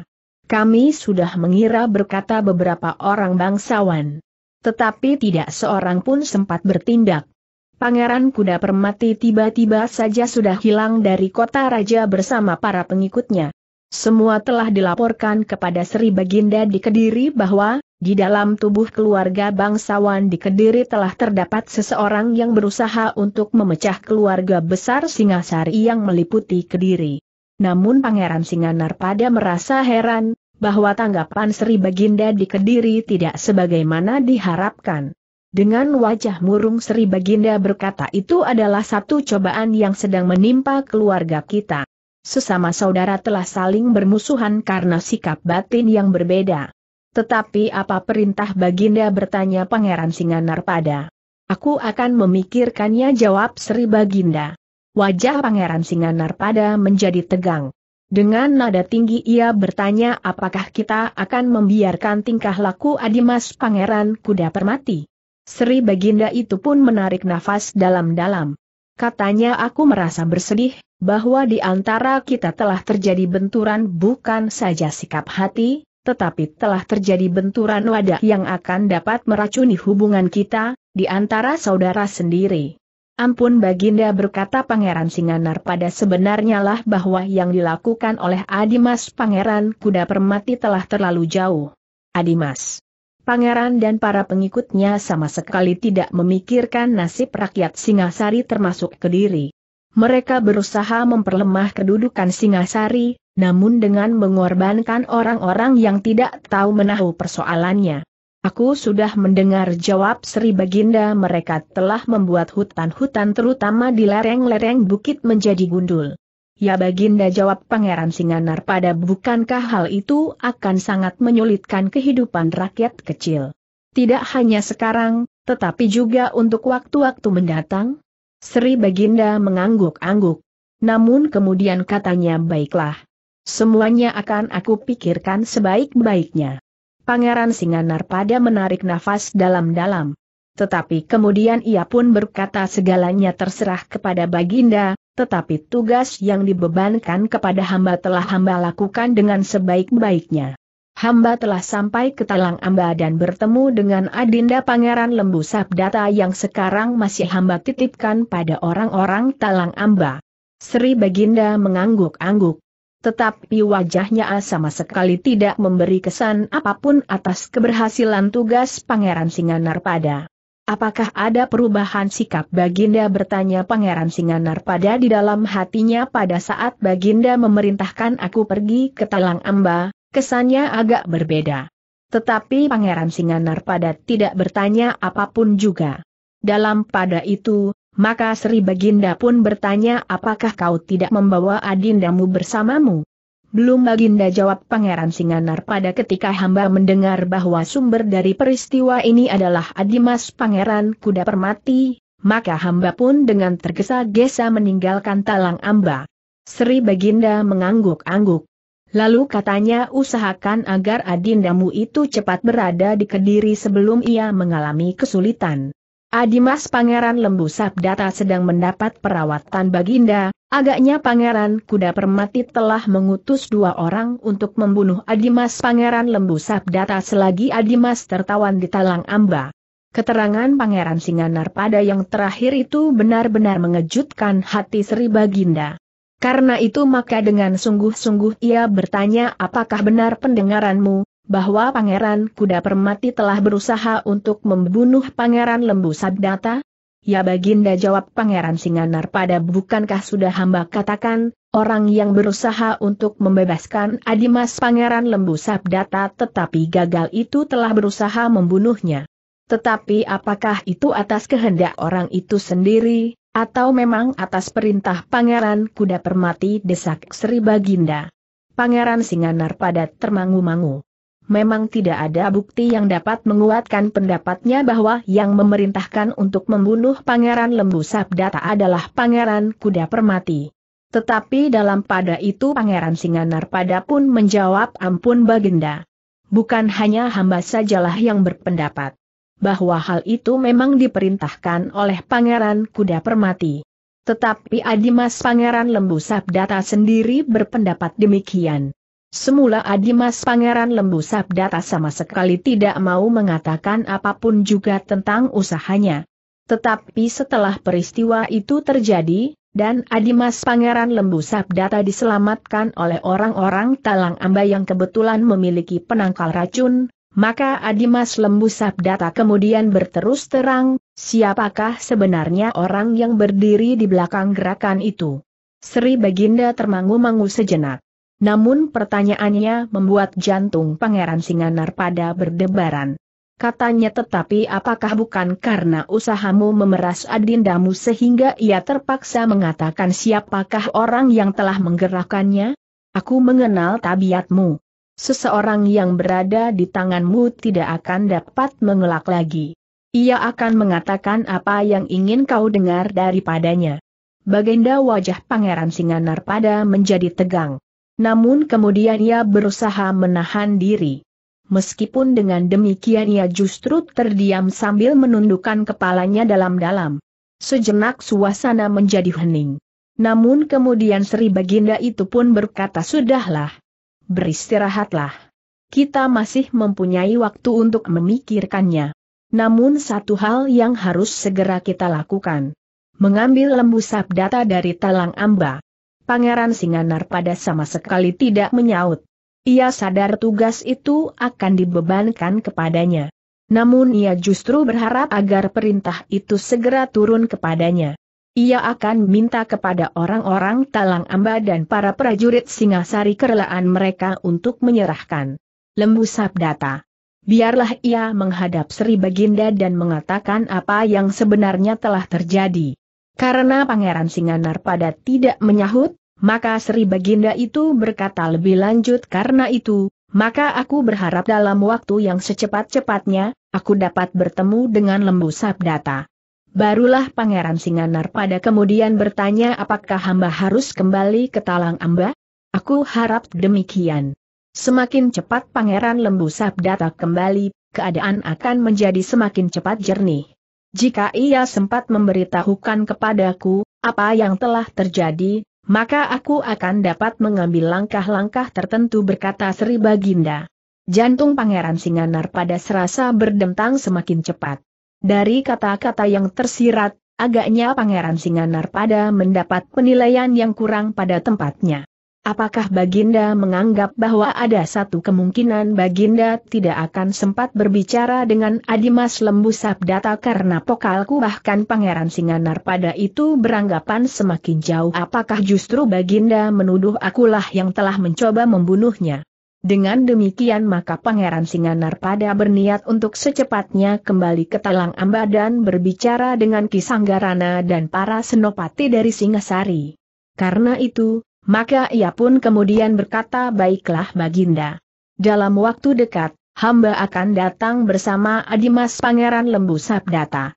Mudah-mudahan ia sudah sembuh sama sekali sehingga perjalanan kembali ke Kediri tidak akan terganggu. Namun hamba mohon izin untuk membawa sepasukan prajurit Kediri untuk mengawal Adimas Pangeran. Ada satu kemungkinan bahwa Pangeran Kuda Permati berusaha untuk merampas Adimas Pangeran di perjalanan. Sri Baginda tiba-tiba menjadi tegang. Namun kemudian katanya baiklah. Pada saatnya kau akan berangkat, maka aku akan memerintahkan untuk mempersiapkan sepasukan prajurit. Hamba mohon, agar hamba yang menentukan, kesatuan yang manakah yang akan pergi bersama hamba mohon Pangeran Singanar pada. Baiklah Baginda mengangguk-angguk. Tetapi kesungguhan Pangeran Singanar pada itu agaknya telah meyakinkan Sri Baginda, bahwa Pangeran Singanar pada benar-benar tidak melakukan sebagaimana disangkanya. Meskipun demikian, Sri Baginda akan tetap menunggu kedatangan Pangeran Lembu Sabdata sebelum mengambil keputusan-keputusan. Pangeran Singanar pada pun berusaha untuk mengerti, karena semua pihak yang terlibat masih termasuk kadang sentana, sehingga Sri Baginda benar-benar disudutkan pada satu keadaan yang sangat sulit untuk mengambil satu keputusan. Dalam pada itu, agaknya Pangeran Singanar pada pun ingin dengan segera menjernihkan suasana. Ia tidak mau mendapat tuduhan-tuduhan, dikatakan atau tidak dikatakan. Mungkin orang mengira bahwa Pangeran Lembu Sabdata dalam keadaan sakit karena sikap keras Pangeran Singanar pada untuk memeras keterangan dari adiknya itu. Segalanya akan jelas jika Adimas Pangeran Lembu Sabdata telah menghadap berkata Pangeran Singanar pada di dalam hatinya. Karena itu, maka Pangeran Singanar Padat pun telah merencanakan secepatnya untuk kembali ke Talang Amba membawa sepasukan prajurit agar Pangeran Lembu Sabdata tidak hilang dari tangannya. Mungkin Pangeran Kuda Permati akan membebaskannya dengan kekerasan atau pembunuhnya untuk menghilangkan jejak. Namun sementara itu, Pangeran Singanar pada menghadapi persoalan lain di dalam istananya. Di luar perhitungannya, Tiba-tiba saja istrinya telah mempersoalkan Pangeran Kuda Permati. Apakah gunanya Kakang Mas memburu Adimas Pangeran Kuda Permati desis istrinya? Wajah Pangeran Singanar pada menjadi tegang. Dengan nada tinggi ia bertanya kenapa kau mempersoalkannya? Kau selama ini tidak pernah mempersoalkan tugas-tugas yang aku lakukan.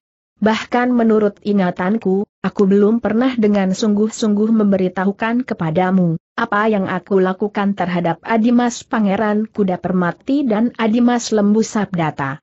Istrinya menundukkan kepalanya. Namun kemudian katanya dengan nada dalam diajeng telah menyampaikan keluhan-keluhannya kepadaku. Kami berdua adalah saudara kandung. Sementara Kakang Mas dan Adimas Kuda Permati saling bermusuhan bagaikan minyak dengan air.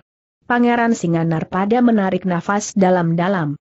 Katanya persoalannya bukannya antara aku pribadi dengan Adimas Kuda Permati pribadi. Persoalannya adalah bahwa Adimas Kuda Permati telah mengambil langkah. Langkah yang dapat meretakan hubungan yang ada antara Singasari dan Kediri. Tetapi bukankah Adimas Pangeran Kuda Permati berusaha untuk keluhuran derajat keturunan Kediri bertanya istrinya. Setiap terah Kediri akan melakukannya. Tetapi tidak dengan cara itu jawab Pangeran Singanar pada cara yang ditempuh adalah cara yang sangat kasar dan akan menghancurkan anak cucu kita sendiri. Namun demikian, apakah Kakang Mas tidak dapat berbicara dengan baik agar tidak terjadi pertumpahan darah bertanya istrinya. Adimas Pangerai Kuda Permati telah meninggalkan Kediri. Kita tidak akan dapat berbicara jawab Pangeran Singanar pada selebihnya, aku harus kembali ke Talang Amba. Aku harus membersihkan diriku dari tuduhan-tuduhan yang tidak sewajarnya. Tuduhan apa bertanya istrinya. Pangeran Singanar pada menarik nafas dalam-dalam. Katanya kemudian dikatakan atau tidak dikatakan, tetapi terasa bahwa aku dituduh melakukan kekerasan terhadap Adimas Pangeran Lembu Sabdata. Padahal aku tidak pernah berbuat apa-apa. Keadaanlah yang telah membuat Adimas Lembu Sabdata mengatakan bahwa ia berada di bawah pengaruh Pangeran Kuda Permati. Istrinya tidak menyaut. Tetapi kepalanya menunduk dalam-dalam. Kegelisahan di dalam dadanya lah yang bagaikan menyala membakar jantungnya. Dalam pada itu, Pangeran Singanar pada pun berkata sudahlah diajeng. Jangan pikirkan tugas-tugas yang dibebankan di atas pundaku. Aku minta kau dapat mengerti bahwa saat ini aku sedang menghadapi satu keadaan yang sulit. Perubahan sikap Sri Baginda membuat kepalaku pening. Aku tidak tahu, apakah yang sudah terjadi di dalam diri Sri Baginda. Tetapi tanggapannya pada saat aku berangkat dan pada saat aku kembali sudah jauh berbeda. Istrinya tidak menyaut. Tetapi kepalanya yang menunduk itu mengangguk perlahan-lahan. Demikianlah, mendekati hari yang sudah ditentukan, Pangeran Singanar Padat telah bersiap-siap untuk pergi ke Talang Amba. Ia menghubungi pimpinan pemerintahan Singasari sebagaimana pernah dilakukan, agar pimpinan pemerintahan di Singasari dapat menyaksikan apa yang dilakukan di Talang Amba dalam hubungannya dengan tingkah laku Pangeran Lembu Sabdata. Pada hari yang ditentukan itu, maka Pangeran Singanar Padat pun telah pergi ke Talang Amba dengan sepasukan prajurit yang dipilihnya sendiri.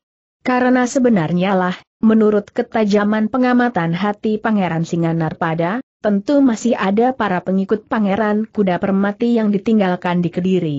Iring-iringan itu telah diikuti oleh dua orang perwira dari Singasari yang akan menyertai pasukan yang dipimpin langsung oleh Pangeran Singanarpada itu ke Talang Amba.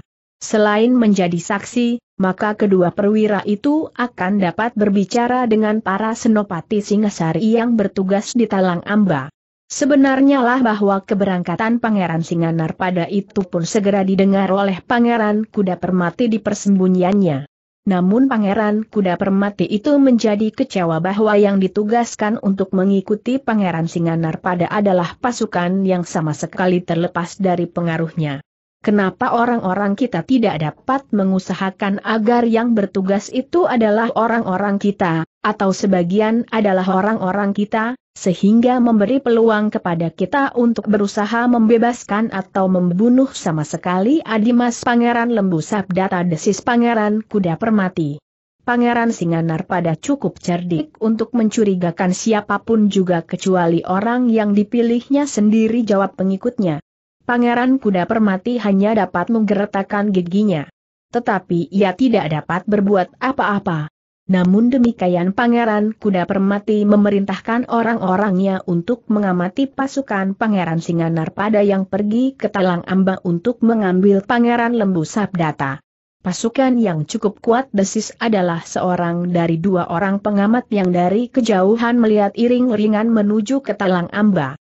Jika Pangeran Kuda Permati akan berkeras hati merebut Pangeran Lembu Sabdata atau membinasakannya, maka akibatnya akan cukup parah. Akan terjadi satu pertempuran yang keras dan bahkan mungkin menjadi buas. Yang dibawa oleh Pangeran Singanar pada adalah sekelompok pasukan terpilih sebagaimana inti kekuatan Pangeran Kuda Permati berkata yang lain. Kawannya mengangguk-angguk. Namun sebenarnya lah bahwa pasukan yang dibawa oleh Pangeran Singanar pada adalah sekelompok pengawal terbaik dari Kediri. Ketika hal itu dilaporkan oleh para pengamat kepada Pangeran Kuda Permati, maka Pangeran Kuda Permati hanya dapat menggeram, ia sadar bahwa ia tidak dapat merebut atau membunuh sama sekali Pangeran Lembu Sabdata yang dikawal kuat oleh pasukan yang langsung dipimpin oleh Pangeran Singanarpada. Ia pun tidak akan dapat merebut atau menghancurkannya sama sekali dengan memasuki talang amba yang masih dijaga dengan kuat oleh para prajurit Singasari, di samping para pengawal dari kabuyutan talang amba. Karena itu, maka Pangeran Kuda Permati harus menerima satu kenyataan bahwa Kediri maupun Singasari akan mengetahui dengan pasti lewat mulut Pangeran Lembu Sabdata, bahwa ia telah memberontak melawan kekuasaan Kediri dan Singasari. Jika demikian apa boleh buat berkata Pangeran Kuda Permati aku memang memberontak. Tetapi sebenarnya pemberontakan ini aku tujukan kepada Singasari. Jika orang-orang Kediri yang menjilat kepada orang-orang Singasari merasa berkewajiban melawan aku juga, apa boleh buat. Sementara itu maka Pangeran Singanarpada pun langsung menuju ke Talang Amba. Sehingga kedatangannya telah membuat Pangeran Lembu Sabdata menjadi berdebar-debar. Ia sadar, bahwa kedatangan Pangeran Singanarpada itu tentu dalam tugas untuk mengambilnya dari Talang Amba dan menghadapkannya kepada Sri Baginda di Kediri. Tetapi di hadapan Pangeran Singanarpada, Pangeran Lembu Sabdata tidak akan dapat terlalu banyak tingkah. Ia tahu pasti sikap Pangeran Singanarpada, apalagi setelah mereka meninggalkan Talang Amba. Tidak terlalu banyak kesulitan bagi Pangeran Singanarpada menghadapi orang-orang Talang Amba dan orang-orang Singasari. Apalagi bersama pangeran itu telah datang. Pula dua orang perwira dari Singasari, sehingga persoalannya dapat dipertanggungjawabkan oleh para senapati yang ada di Talang Amba. Sementara yang lain biarlah berada di Talang Amba berkata Pangeran Singanar pada pada saatnya, apakah Kediri atau Singasari tentu memerlukan mereka. Dengan demikian, maka Kisanggarana dan para senapati Singasari di Talang Amba telah menyerahkan dengan resmi Pangeran Lembu Sabdata. Sementara itu, Pangeran Singanarpada yang ingin cepat menjernihkan suasana telah dengan tergesa-gesa menentukan saatnya untuk kembali. Kenapa besok bertanya Kisanggarana nampaknya pangeran sangat tergesa-gesa. Ya jawab pangeran Singanarpada aku tidak mau dibayangi oleh kecurigaan-kecurigaan dan dugaan-dugaan yang tidak sewajarnya. Aku harus segera menghadapkan Adimas Pangeran Lembu Sabdata kepada Sri Baginda, agar dengan demikian semuanya menjadi jelas. Silahkan pangeran berkata Kisanggarana luka-lukanya pun telah sembuh sama sekali. Dengan terhisapnya racun ular oleh penangkal racun yang kuat itu, maka luka-luka pangeran lembu sabdata menjadi tidak berarti lagi. Terima kasih Kisanggarana berkata pangeran Singanar pada mudah-mudahan segala sesuatunya cepat kita selesaikan. Namun sementara ini jangan menjadi lengah. Pangeran Kuda Permati sudah tidak berada di Kediri lagi. Dengan pasukan yang setia kepadanya, ia telah menyingkir untuk mempersiapkan satu pemberontakan yang terbuka. Menurut perhitunganku, ia akan mendapat banyak pengikut karena dengan kepandaiannya berbicara, ia akan dapat memikat beberapa orang untuk mengikuti jejaknya melawan Singasari. Baiklah Pangeran jawab Kisanggarana kami akan berjaga-jaga menghadapi segala kemungkinan. Apalagi prajurit Singasari untuk sementara masih akan tetap berada di sini, meskipun Pangeran Lembu Sabdata sudah tidak ada di kabuyutan ini, karena kemungkinan-kemungkinan lain masih akan dapat terjadi. Demikianlah, maka Pangeran Singanar Padat pun telah mempersiapkan diri Pangeran Lembuku Sabdata pun telah diberitahu, bahwa esok pagi, mereka akan bersama-sama meninggalkan Talang Amba untuk kembali ke Kediri. Pangeran Lembu Sabdata menjadi berdebar-debar. Jika ia dihadapkan kepada Sri Baginda, maka apakah yang akan dikatakannya? Meskipun agaknya Sri Baginda sudah tahu, bahwa sumber dari keributan yang terjadi itu di antaranya adalah Pangeran Kuda Permati, namun rasa-rasanya sulitlah baginya untuk mengatakannya langsung kepada Sri Baginda. Namun Pangeran Lembu Sabdata tidak dapat menolak. Jika ia mencobanya juga maka akibatnya akan terasa sangat parah. Setelah segalanya dipersiapkan, maka Pangeran Singanarpada pun minta diri kepada orang-orang Talang Amba dan para prajurit Singasari. Dengan pengawalan yang kuat, maka Pangeran Lembu Sabdata pun dipersilahkan untuk naik ke punggung kuda yang telah disediakan baginya. Di sebelah menyebelahnya adalah dua orang prajurit pilihan, sementara di belakangnya adalah Pangeran Singanar pada sendiri bersama dua orang perwira dari Singasari. Beberapa langkah di depan, berturut-turut lima orang prajurit berkuda, sementara yang lain ada di belakang Pangeran Singanar pada. Pangeran Lembu Sabdata tidak dapat berbuat apa-apa. Ia mengenal pasukan yang dibawa oleh Pangeran Singanar pada itu sebagai pasukan terbaik dari pengawal di Kediri, sebagaimana sekelompok pasukan yang dibawa oleh Pangeran Kuda Permati. Demikianlah iring-iringan itu meninggalkan Talang Amba dengan disaksikan oleh hampir semua orang Talang Amba yang tinggal di sepanjang jalan. Di setiap padukuhan, orang-orang telah keluar dari rumah-rumah mereka dan turun ke pinggir jalan untuk melihat sebuah iring-iringan yang membawa seorang tawanan dari terah bangsawan di Kediri. Pangeran Lembu Sabdata hanya dapat menundukkan kepalanya. Namun terasa jantungnya berdentangan menahan kemarahan yang rasa-rasanya menghentak-hentak dadanya. Bahkan ternyata tidak di padukuhan-padukuhan dalam telatah kabuyutan talang amba saja mereka menjadi tontonan.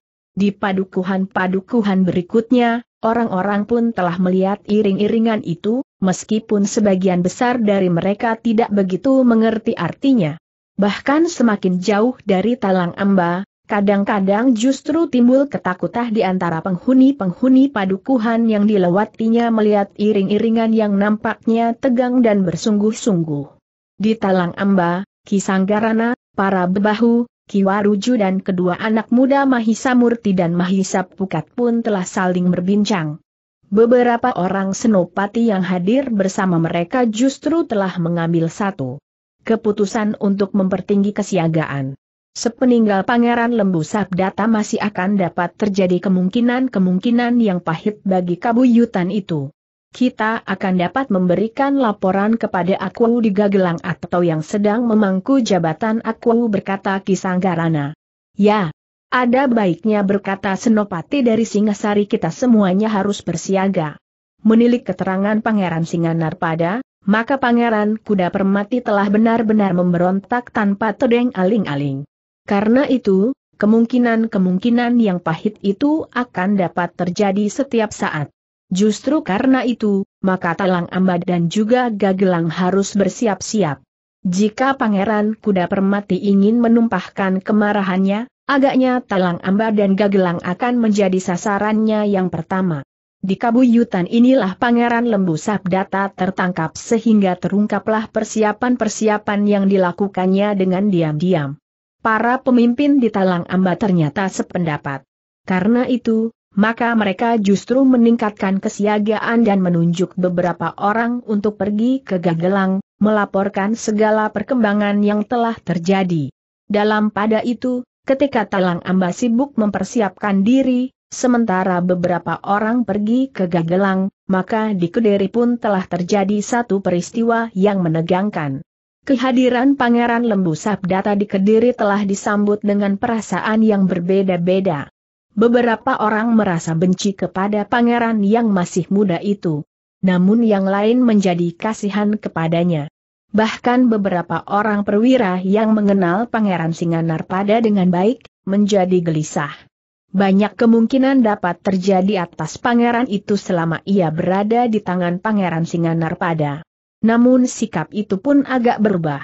Ketika Pangeran Lembu Sabdata telah dimasukkan ke dalam ruang tahanan, maka beberapa orang yang mengikuti setiap perkembangan keadaan di Talang Amba pun mengatakan, bahwa Pangeran Singanar pada telah berhasil menguasai dirinya selama ia berada di Talang Amba. Pangeran Singanar pada tidak melakukan kekerasan berkata, salah seorang senopati yang mengikutinya. Tetapi beberapa orang telah meragukannya. Apalagi mereka yang sejak semula telah berprasangka. Ketika Pangeran Singanarpada datang melaporkan keadaan Talang Amba dan menyatakan bahwa Pangeran Lembu Sabdata terluka karena ada usaha untuk membunuhnya, orang-orang itu telah menyangka bahwa Pangeran Singanarpada telah menyakitinya sehingga Pangeran Lembu Sabdata terluka parah sebelum mengucapkan pengakuannya. Dengan demikian maka Pangeran Singanarpada itu tidak dapat membawanya bersamanya pada waktu itu. Ketika salah seorang yang menyertai Pangeran Singanarpada menceritakan keadaan Pangeran Lembu Sabdata yang sebenarnya, bahwa pangeran itu telah terluka oleh gigitan ular, maka beberapa orang kurang mempercayainya. Demikianlah maka di Kediri telah timbul tanggapan yang berbeda bahwa kadang, kadang berlawanan atas keadaan Pangeran Lembu Sabdata. Namun Pangeran Singanar tidak menghiraukannya. Yang penting baginya adalah membawa Pangeran Lembu Sabdata itu menghadap Sri Baginda, di Kediri. Dengan demikian maka segalanya akan menjadi jernih dan segala macam prasangka pun akan dapat hilang dengan sendirinya. Karena itu, maka yang dilakukan oleh Pangeran Singanar pada kemudian adalah berusaha untuk membawa Pangeran Lembu Sabdata menghadap. Ternyata Sri Baginda pun agaknya ingin segera mendengar apa yang telah terjadi atas Pangeran Lembu Sabdata. Karena itu, maka demikian Pangeran Singanar pada melaporkan kedatangannya, serta mohon untuk menghadapkan Pangeran Lembu Sabdata, Sri Baginda pun telah memberikan kesempatan yang pertama. Demikianlah, dengan dihadiri oleh beberapa orang saja, Pangeran Lembu Sabdata telah dibawa menghadap oleh Pangeran Singanarpada. Demikianlah Pangeran Lembu Sabdata duduk sambil menundukkan kepalanya, maka Sri Baginda pun menarik nafas dalam-dalam sambil berdesis kau Adimas Lembu Sabdata. Pangeran Lembu Sabdata tidak berani mengangkat wajahnya. Kepalanya justru semakin tertunduk dalam-dalam. Baginda itu pun kemudian berkata dengan nada dalam Adimas. Seharusnya kau merasa, bahwa kau adalah adikku yang sangat aku kasihi. Tetapi justru itu kau menjadi manja dan melakukan langkah-langkah yang sama sekali tidak menguntungkan kedudukanmu sekarang ini. Pangeran Lembu Sabdata masih menundukkan kepalanya. Sementara Sri Baginda berkata selanjutnya kenapa kau justru telah mengikuti jejak Pangeran Kuda Permati? Pangeran Lembu Sabdata masih dan belum menjawab. Karena Pangeran Lembu Sabdata masih belum menjawab, maka Sri Baginda itu meneruskan tetapi. Apakah hasilnya setelah kau dengan susah payah melakukan tindakan-tindakan yang tercela di bawah pengaruh Pangeran Kuda Permati? Justru kau telah diancamnya. Bahkan telah terjadi satu percobaan pembunuhan atasmu namun adalah di luar dugaan bahwa tiba-tiba saja Pangeran Lembu Sabdata itu mengangkat wajahnya yang nampak keheranan. Dengan nada tinggi ia bertanya siapa yang akan dibunuh Sri Baginda. Bukankah Pangeran Kuda Permati telah memerintahkan orang-orangnya untuk membunuhmu setelah mereka gagal untuk melepaskanmu dari tangan orang-orang Talang Ambaa dan para prajurit Singasari bertanya Sri Baginda. Pangeran Lembu Sabdata justru menjadi semakin keheranan. Sekilas dipandanginya Pangeran Singanar pada yang duduk di sebelahnya. Dengan nada keheranan ia pun kemudian bertanya ampun Baginda. Siapakah yang telah memberikan laporan yang demikian? Pertanyaan itu benar-benar telah mengejutkan Pangeran Singanar pada. Apalagi ketika Pangeran Lembu Sabdata berkata tidak ada orang yang akan membunuh hamba. Adimas potong Pangeran Singanar pada dengan wajah yang membara bukankah ular itu telah mematuk punggung Adimas? Jika Adimas tidak diselamatkan oleh orang-orang Talang Amba, bukankah Adimas sudah terbunuh? Pangeran Lembu Sabdata menarik nafas dalam-dalam. Pertanyaan yang kemudian dilontarkannya, benar-benar telah menghentakkan jantung Pangeran Singanar pada, sehingga rasa-rasanya jantungnya itu akan terlepas dari tangkainya. Sri Baginda bertanya Pangeran Lembu Sabdata apakah yang sebenarnya sudah dilontarkan kepada Baginda tentang diri hamba selama hamba berada di Talang Amba? Sri Baginda mengerutkan keningnya. Sementara kegelisahan yang sangat telah membayang di wajah Pangeran Singanar pada. Sri Baginda pun telah mengulangi keterangannya sesuai dengan laporan Pangeran Singanar pada. Namun benar-benar tidak masuk dalam akal Pangeran Singanar pada, bahwa tiba-tiba saja Pangeran Lembu Sabdata menyahut bohong. Semuanya bohong Baginda. Tidak ada orang yang ingin membunuh hamba. Jika hamba tidak dapat segera dibawa menghadap, maka sebenarnya lah bahwa hamba benar-benar tidak mampu bangkit. Tubuh hamba bagaikan remuk dan tulang-tulang hamba bagaikan berpatahan. Kenapa bertanya Sri Baginda? Pangeran Lembu Sabdata berpaling kepada Pangeran Singanarpada sambil menjawab Kakang Mas Singanarpada ingin mendengar dari mulut hamba, siapakah yang berada di belakang hamba atas peristiwa-peristiwa yang terjadi itu. Gila hampir berteriak Pangeran Singanarpada bergeser mendekat. Seandainya mereka tidak berada di hadapan Sri Baginda, maka ia sudah mencekik leher Pangeran Lembu Sabdata. Tunggu cegah Sri Baginda biarlah ia berbicara. Pangeran Singanar pada menggeram kau jangan memutar balikan keadaan. Tetapi Pangeran Lembu Sabdata justru tersenyum. Katanya memang putaran roda pedati itu mengharuskan. Jari-jarinya sekali melintang, sekali membujur. Yang di atas akan berganti di bawah. Dan yang sewenang-wenang akhirnya akan terbongkar pula. Tetapi aku tidak berbuat apa-apa bentak Pangeran Singanar pada. Namun Sri Baginda pun telah membentak diam. Akulah yang akan bertanya kepadanya. Pangeran Singanar pada telah terdiam. Kepalanya tertunduk namun jantungnya bagaikan meledak. Sri Baginda berkata Pangeran Lembu Sabdata kemudian hamba benar-benar tidak dapat bertahan untuk mengatakan bahwa segalanya adalah karena niat hamba sendiri. Tidak ada orang lain yang menggerakkan hamba. Tetapi tekanan yang tidak tertahankan telah memaksa hamba menyebut asal saja mengucapkan sebuah nama. Apakah benar begitu bertanya Sri Baginda? Hamba Sri Baginda. Hamba benar-benar telah diremukan oleh Kakang Mas Singanar pada. Memang orang-orang talang hamba ada juga yang berbaik hati mengobati hamba tetapi itu karena mereka pun merasa perlu untuk mempertahankan hidup hamba, agar mereka mendapat keterangan seperlunya sebagaimana Kakang Mas Singanar pada. Rasa-rasanya telinga Pangeran Singanar pada telah membara mendengar keterangan Pangeran Lembu Sabdata itu. Benar-benar satu persoalan yang tidak diduganya sebelumnya. Bagaimanapun tipisnya, ia masih menghargai kejujuran Pangeran Lembu Sabdata. Tetapi ternyata yang dijumpai benar-benar satu fitnah yang paling keji. Dalam pada itu, maka Pangeran Singanar pada itu pun justru bagaikan terbungkam. Kemarahan yang menghentak-hentak di dadanya membuatnya menjadi gemetar. Baginda berkata Pangeran Singanar pada kemudian terbata-bata justru oleh gejolak batinnya hamba tidak menyangka bahwa Adimas Pangeran Lembu Sabdata akan mengatakan demikian. Ya baginda potong pangeran lembu sabdata baru sekarang hamba menyadari. Agaknya itulah sebabnya, maka Kakang Mas Singanar Padat telah mengancam hamba untuk tidak mengatakan apa yang sebenarnya hamba alami. Hamba kira, bahwa Kakang Mas Singanar pada benar-benar ingin menyembunyikan kenyataan yang telah terjadi di talang hamba atas diri hamba. Namun dalam pada itu baginda, bahwa hamba mohon keadilan. Hamba memang sudah bersalah, bahwa hamba merasa wajib untuk berbuat sesuatu atas kediri. Tetapi tingkah laku Kakang Mas Singanar pada sudah melampaui wewenang yang ada padanya. Bohong Pangeran Singanar pada hampir berteriak. Namun dengan demikian Sri Baginda pun telah memandanginya dengan tajamnya sambil bertanya kau sadari, bahwa kau duduk di hadapanku? Pangeran Singanar pada menundukkan kepalanya sambil berdesis lemah hamba Baginda. Tetapi maksud hamba adalah memberikan penjelasan atas apa yang sebenarnya terjadi.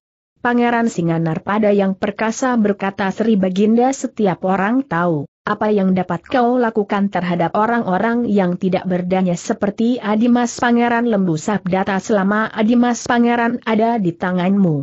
Setiap orang tahu, bahwa beberapa orang telah kau remukan untuk sekedar mendapatkan pengakuan dari mulutnya. Bahkan kadang-kadang pengakuan semu yang diucapkan karena ia tidak mampu lagi mengelakkan diri dari kekerasan tanganmu. Dan sekarang hal itu terjadi atas Pangeran Lembu Sabdata. Atas adikmu sendiri. Pangeran Singanar pada menarik nafas dalam-dalam. Namun dalam pada itu, hatinya justru menjadi tenang. Bahkan kemudian ia pun bertanya dengan suara dalam ampun Sri Baginda. Hamba menyadari, bahwa cacat itu memang tidak dapat hamba tanggalkan dari diri hamba.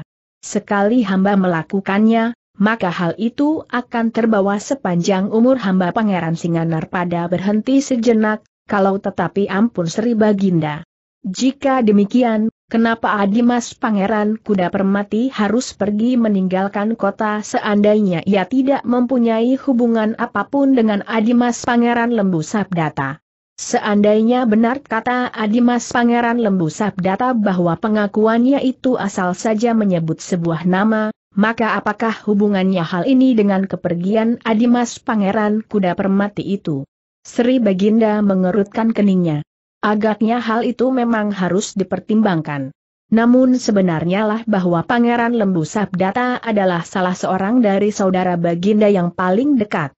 Itulah agaknya maka Sri Baginda menganggap bahwa Pangeran Lembu Sabdata lebih dapat dipercaya dari saudara-saudaranya yang lain. Meskipun demikian Sri Baginda itu masih juga bertanya Lembu Sabdata. Apa katamu tentang pertanyaan kakang masmu tentang kuda permati? Jika ia tidak tersangkut dalam persoalanmu, kenapa ia harus melarikan diri dan menghilang dari kota? Ada beberapa hal Sri Baginda jawab Pangeran Lembu Sabdata mungkin Kakang Mas Kuda Permati tidak sedang melarikan diri. Tetapi sedang melakukan satu tugas tertentu. Katakanlah bahwa dengan demikian Kakang Mas telah melakukan satu kesalahan bahwa ia tidak melaporkan diri pada saat ia meninggalkan kota. Sedangkan kemungkinan yang terbesar adalah bahwa Kakang Mas sudah mendengar apa yang terjadi di Talang Amba. Aku dipaksa mengaku di hadapan banyak orang, bahwa aku telah melakukan satu pemberontakan. Salah seorang yang berjuang bersamaku adalah Kakang Mas Kuda Permati. Nama itu aku ucapkan asal saja aku menyebutnya. Namun demikian, Kakang Mas Singanarpada memang memancing aku untuk menyebut nama itu. Karena itulah agaknya berita tentang terlibatnya Kakang Mas Kuda Permati sebagaimana aku ucapkan di hadapan orang banyak itu telah didengar oleh Kakang Mas Kuda Permati, sehingga lebih baik baginya untuk menghindar sampai persoalan ini dapat dijernihkan. Bohong. Semuanya bohong geram Pangeran Singanarpada. Bukankah hal ini dapat ditanyakan kepada beberapa pihak bertanya Sri Baginda? Tidak ada gunanya sahut Pangeran Lembu Sabdata para pengikut Kakang Mas Singanarpada, baik yang pertama maupun yang kemudian datang ke Talang Amba adalah orang-orang yang berada sepenuhnya di bawah pengaruhnya. Apa yang akan dikatakan adalah apa yang diinginkan oleh Kakang Mas Singanarpada. Bahkan seandainya Sri Baginda memanggil orang-orang Talang Amba, maka jawaban mereka atas pertanyaan siapa pun juga, mempunyai pola yang sama meskipun mungkin dalam ungkapan yang berbeda. Sri Baginda mengangguk-angguk. Katanya kepada Pangeran Singanar pada jelas. Bagaimana dengan kau? Apakah kau masih juga belum mengetahui isi ceritanya? Dan Baginda mempercayainya Pangeran Singanar pada ganti bertanya. Apa katamu, seandainya aku menjawab ya bertanya Sri Baginda. Segala wewenang dan kekuasaan duniawi ada di tangan Baginda Kediri. Tetapi bersama hamba adalah dua orang perwira Singasari yang melihat peristiwa yang sebenarnya terjadi. Sekilas nampak wajah lembu Sabdata menegang. Namun kesan itu pun segera lenyap. Dengan sikap sebagaimana sebelumnya ia menunggu apakah yang akan dikatakan oleh Sri Baginda. Dalam pada itu, Sri Baginda pun telah mengerutkan keningnya bersama Pangeran Singanarpada, baik perjalanannya yang pertama, maupun perjalanannya yang kedua, adalah para perwira Singasari yang akan dapat menjadi saksi. Karena itu, maka Sri Baginda itu pun berkata kepada Pangeran Lembu Sabdata apa katamu tentang kedua orang perwira Singasari itu? Perasaan orang-orang Singasari terhadap hamba sudah jelas Sri Paduka. Hamba adalah pemberontak yang harus dihukum mati. Karena itu setiap keterangannya tentu akan sangat memberatkan hamba jawab Pangeran Lembu Sabdata hamba tidak tahu, seandainya para perwira dari Singasari itu akan memberikan keterangan. Apakah keterangan mereka akan sama dengan keterangan Kakang Mas Pangeran Singanar pada yang memang sudah dirancangkannya lebih dahulu, atau mereka akan memberikan keterangan yang lain? Tetapi, adalah mustahil jika mereka akan memberikan keterangan yang sebenarnya. Sri Baginda menarik nafas dalam-dalam. Namun kemudian sambil mengangguk-angguk ia berkata ternyata bahwa aku masih harus mencari keterangan-keterangan lain tentang keadaan yang sebenarnya terjadi di Talang Amba. Namun dalam pada itu, untuk tidak terjadi kecurangan-kecurangan dari segala pihak, maka baik lembu sabdata maupun singanar pada terpaksa aku batasi kebebasan gerak kalian. Pengeran singanar pada menggeram. Tetapi Sri Baginda sudah mengucapkan satu keputusan, sehingga sulit untuk dapat dirubah lagi. Betapa rasa keadilan Pangeran Singanarpa tersinggung, namun ia tidak dapat membantahnya. Karena itu, maka keduanya kemudian telah ditempatkan dalam bilik yang khusus dan terpisah. Sementara itu, Sri Baginda masih berusaha untuk mendapatkan beberapa keterangan yang akan dapat menjernihkan keadaan. Sri Baginda berkata salah seorang pangeran yang mendapat kesempatan untuk menyatakan pendapatnya Sri Baginda telah menunjuk Pangeran Singanarpada. Namun agaknya Baginda tidak mempercayainya sepenuhnya. Bukankah sejak semula kita sudah mengetahui kekerasan hati Pangeran Singanarpada? Sri Baginda menarik nafas dalam-dalam. Katanya kemudian kita akan melihat, apakah yang dikatakan oleh Pangeran Singanarpada itu benar. Ada banyak sumber yang akan dapat memberikan keterangan. Tetapi seperti yang dikatakan oleh Pangeran Lembu Sabdata bahwa orang-orang Talang Amba tentu akan tunduk kepada semua pesan Pangeran Singanarpada. Pangeran itu tidak menjawab. Tetapi ia tetap tidak mengerti, kenapa Sri Baginda bersikap berat sebelah, sehingga Pangeran Singanarpada pun harus ditahan pula. Dalam pada itu, berita tentang penahanan Pangeran Singanarpada itu pun segera tersebar.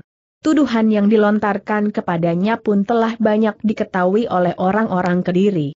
Sebagian dari mereka menganggap bahwa sikap Sri Baginda adalah sikap yang paling adil mereka menghubungkan langkah-langkah yang keras pangeran. Singa Narpada telah menyebabkan pangeran kuda permati meninggalkan kediri. Pangeran kuda permati yang tidak melakukan kesalahan itu, merasa perlu untuk menghindarkan diri dari benturan kekuatan dengan saudara sendiri, karena Pangeran Singanarpada memaksa Pangeran Lembu Sabdata untuk menyebut nama itu sebagai salah satu, bahkan sebagai penggerak dalam usaha melawan Singasari. Berita itu bukan saja tersebar di Kediri. Tetapi akhirnya orang-orang Talang Amba pun mendengarnya juga. Para perwira yang ikut bersama Pangeran Singanar pada Ketalang Amba merasa heran, bahwa Sri Baginda demikian saja percaya kepada Pangeran Lembu Sabdata, seakan-akan Pangeran Singanar pada telah memfitnahnya. Tetapi seperti beberapa pihak lain tidak dapat dengan serta-merta berusaha merubah keadaan itu mereka harus berhati-hati, sehingga pada satu saat, mereka mendapat kesempatan sebaik-baiknya untuk membuktikan bahwa keputusan Sri Baginda itu salah. Yang tidak kalah terkejutnya mendengar berita itu adalah Pangeran Kuda Permati sendiri. Seorang kepercayaannya yang ditinggalkannya di Kediri telah memberikan laporan sepenuhnya apa yang telah terjadi. Jadi Adimas Pangeran Lembu Sabdata berhasil mengingkari keterangannya, bahwa aku telah terlibat bertanya Pangeran Kuda Permati. Ya Pangeran jawab kepercayaannya sekarang Pangeran Singanar pada justru telah ditahan, sedangkan Pangeran Lembu Sabdata pun untuk sementara masih juga ditahan, karena pangeran itu memang sudah mengaku mengadakan perlawanan terhadap Singasari tetapi atas kehendak sendiri dan sama sekali tidak menyangkut nama pangeran kuda permati. Apa katanya tentang aku bertanya pangeran kuda permati? Jika di talang amba pangeran lembu sabdata menyebut nama pangeran, itu adalah justru atas kehendak Pangeran Singanar pada yang memaksa Pangeran Lembu Sabdata untuk mengakui kehadiran Pangeran Kuda Permati di lingkungannya. Pangeran Kuda Permati tertawa. Katanya aku tidak menyangka bahwa Adimas Lembu Sabdata ternyata memiliki kecerdasan dan kesetiaan yang tinggi. Jika demikian, maka aku harus menghilangkan segala keragu-raguan atas kesetiaannya. Untunglah bahwa pangeran itu masih tetap hidup. Ia akan dapat menjadi tenaganya yang baik sekali di antara kita semuanya. Ya pangeran jawab kepercayaannya pada suatu saat, kita akan mendapat kesempatan untuk bertemu lagi. Pangeran kuda permati mengangguk-angguk. Ia merasa beruntung, bahwa Pangeran Lembu Sabda Tamasin tetap berusaha melindungi namanya, meskipun ia sudah pernah berusaha untuk membunuhnya. Dalam pada itu, maka pesannya kepada orang-orangnya ikuti segala perkembangan keadaan Adimas Pangeran Lembu Sabdata. Mungkin ada sesuatu yang perlu kita perhatikan. Pesan itu pun dilakukan oleh para pengikutnya dengan saksama. Terutama mereka yang ada di kota Kediri. Sementara Pangeran Kuda Permati berpengharapan atas kemungkinan yang menguntungkan baginya, maka orang-orang Talang Amba menjadi heran mendengar keputusan Sri Baginda di Kediri, bahwa Pangeran Singanarpada telah ditahan dan dipersalahkan telah melakukan kekerasan terhadap Pangeran Lembu Sabdata yang dalam keadaan tidak berdaya. Aneh berkata Kisanggarana yang mendengar berita itu dalam suatu pertemuan dengan orang-orang Singasari. Apakah para perwira yang menyertai Pangeran Singanarpada tidak ada yang dapat memberikan keterangan tentang peristiwa yang sesungguhnya terjadi bertanya Senopati Singasari yang ada di Talang Amba. Menurut keterangan yang kami dengar sahut Kisanggarana semua pernyataan tentang keadaan yang sebenarnya telah dianggap sebagai satu pemalsuan karena perintah Pangeran Singanarpada. Seakan-akan semua orang yang menyertainya, baik pada perjalanannya yang pertama maupun yang kedua, telah mendapat tekanan dari pangeran itu untuk mengatakan yang tidak sebenarnya. Senopati Singasari itu mengangguk-angguk.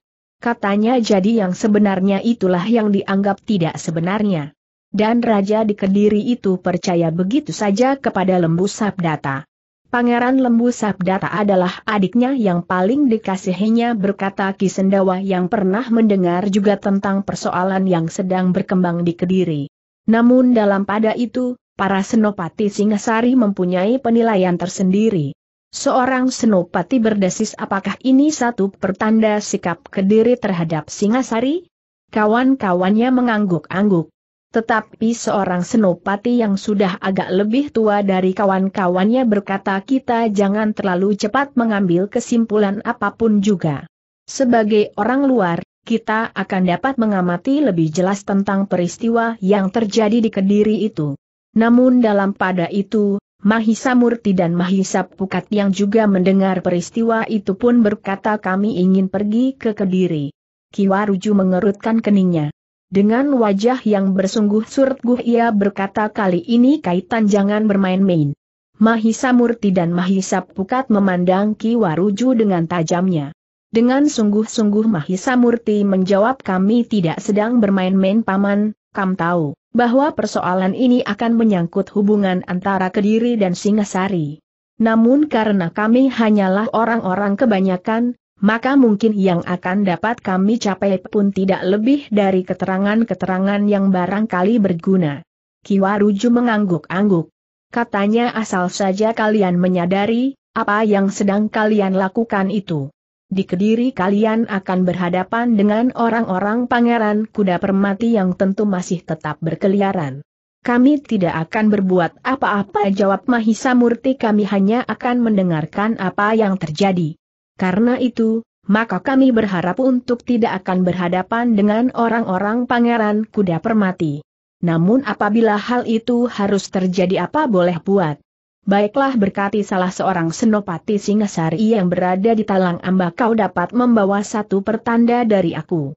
Kemudian kau akan dapat berhubungan dengan orang-orang Singasari yang ada di Kediri. Sebab selain orang-orang yang memang ditempatkan di Kediri dan orang-orang yang dengan terbuka melakukan tugas-tugasnya, Singasari pun menempatkan beberapa orang pengawas di Kediri.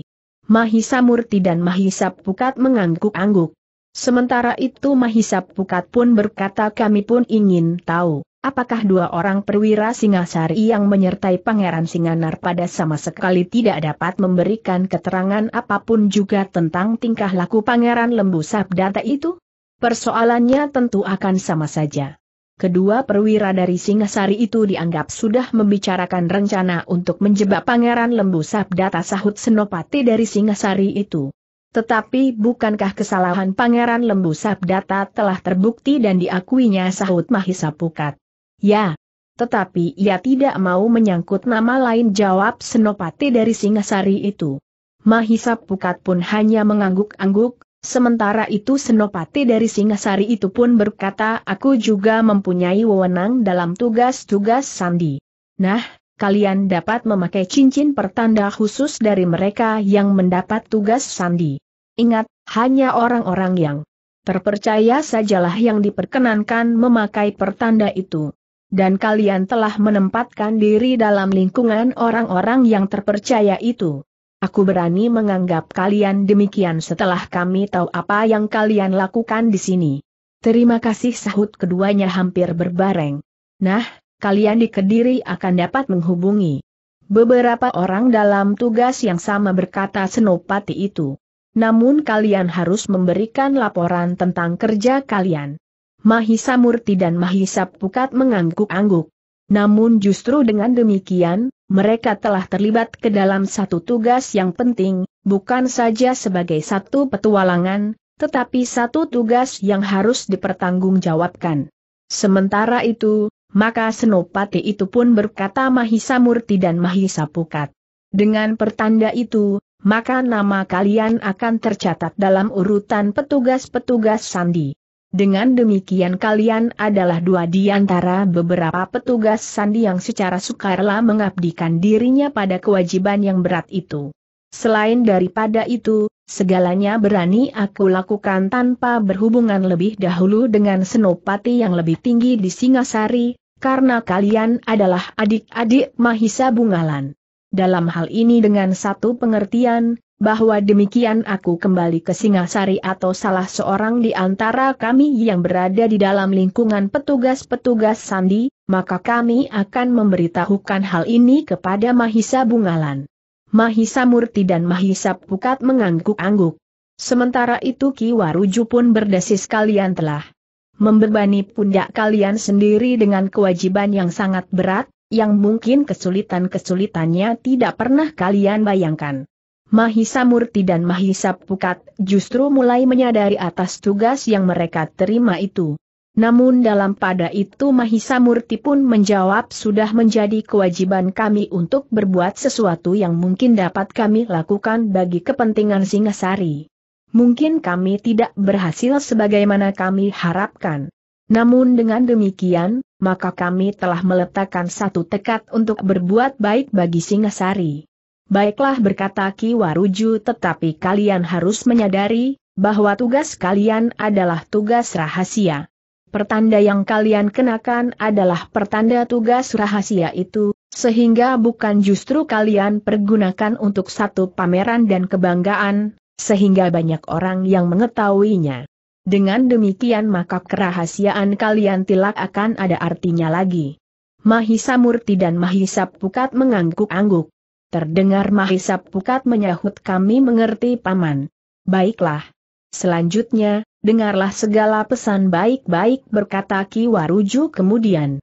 Dalam pada itu, maka Senopati dari Singasari yang juga termasuk dalam jajaran petugas sandi itu pun mulai memberikan beberapa keterangan namun ternyata ia masih belum mengatakan seluruhnya. Masih ada yang memang merupakan satu rahasia yang hanya akan dikatakannya kepada Mahisa Murti dan Mahisa Pukat saja meskipun hal itu tidak dinyatakannya dengan berterus terang. Karena itulah, maka dalam kesempatan yang terpisah, tanpa hadirnya orang lain, Senopati itu telah memberikan beberapa petunjuk tentang petugas-petugas sandi yang dapat dihubunginya di Kediri. Dengan sungguh-sungguh Senopati itu berkata sekali lagi aku beritahukan kepada kalian, bahwa yang akan kalian lakukan adalah tugas rahasia. Tidak banyak orang yang mengetahui bahkan prajurit-prajurit Singasari yang ada di sini pun tidak mengetahuinya pula. Nama-nama itu adalah nama-nama yang tabu bagi siapa pun juga. Ingat, kalian mungkin akan mengalami satu keadaan yang sangat pahit. Tetapi jangan ada nama yang terlepas dari mulutmu. Taruhan dari tugas kalian bukan saja maut. Tetapi puncak dari kesakitan mungkin akan kalian alami. Mahisa Murti dan Mahisa Pukat mengangguk-angguk. Mereka menyadari sepenuhnya pesan dari Senopati itu.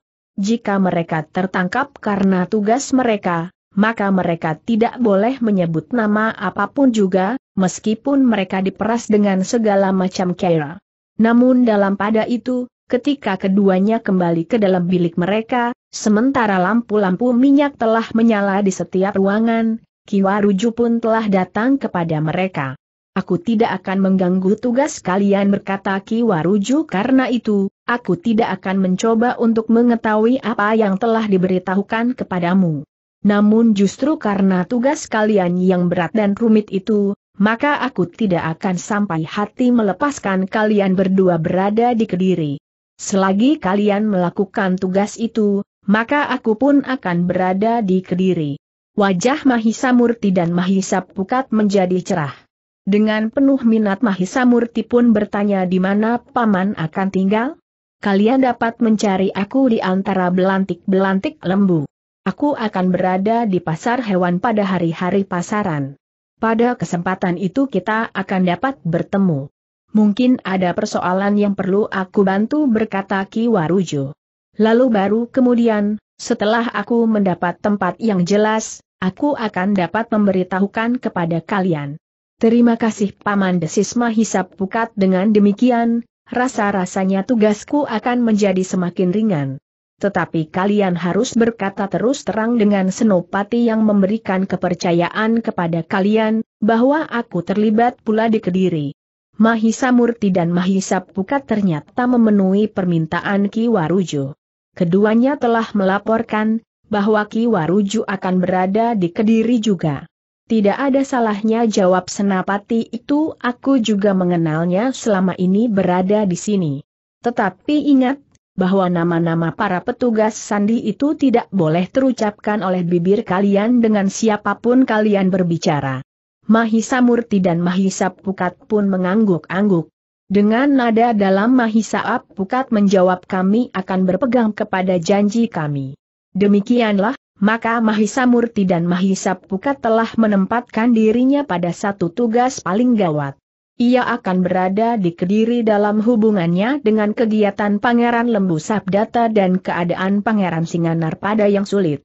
Pada saat menjelang keberangkatannya, maka Mahisa Murti dan Mahisa Pukat pun telah minta diri kepada para pemimpin dari Kabuyutan Talang Amba dan para senapati Singasari yang berada di Kabuyutan itu. Tidak banyak orang yang tahu apa yang akan dilakukannya kemudian. Namun bagi orang-orang Talang Amba, Mahisa Murti dan Mahisa Pukat telah banyak memberikan arti bagi anak-anak mudanya dan justru bagi keselamatan kabuyutan itu sendiri. Karena itu, pada saat keberangkatannya beberapa orang pemimpin kabuyutan Talang Amba, para senapati prajurit Singasari dan anak-anak mudanya telah melepaskan dengan jantung yang berdebaran. Rasa-rasanya mereka ingin menahan agar kedua anak muda itu tetap berada di talang amba. Pada saatnya kami akan kembali berkata Mahisa Murti kepada anak-anak muda itu. Dengan demikian, maka mulailah satu perjalanan yang akan menyongsong tugas yang berat telah dimulai. Namun dalam pada itu, meskipun tidak bersama-sama, tetapi kedua anak muda itu mengetahui, bahwa Ki Waruju akan berada di Kediri sebagaimana dikatakannya. Pada hari pasaran mereka akan dapat menemui Ki Waruju di pasar hewan. Sebagaimana perjalanan yang pernah ditempuh, maka kedua anak muda itu lebih senang berjalan kaki, menyusuri lereng-lereng bukit yang hijau, yang nyaris menjadi padang berbatuan padas tanpa selembar daun pun. Jika pepohonan hutan di lereng gunung itu menjadi gundul, maka kehidupan akan menjadi gersang untuk waktu yang sangat panjang, bahkan akhirnya padukuhan-padukuhan di bawah lereng-lereng pegunungan akan berubah menjadi padang-padang perdu yang kering dan berwarna kuning. Satu cara yang sangat keji berkata Mahisa Murti kepada Mahisa Pukat. Mahisa Pukat mengangguk-angguk. Lalu katanya dalam keadaan yang terpaksa, mungkin mereka akan mempergunakan cara yang lebih buruk mereka akan dapat membakar hutan sehingga papohonan itu pun akan menjadi abu sebagaimana kehidupan di bawah lereng-lereng pegunungan itu di hari kemudian.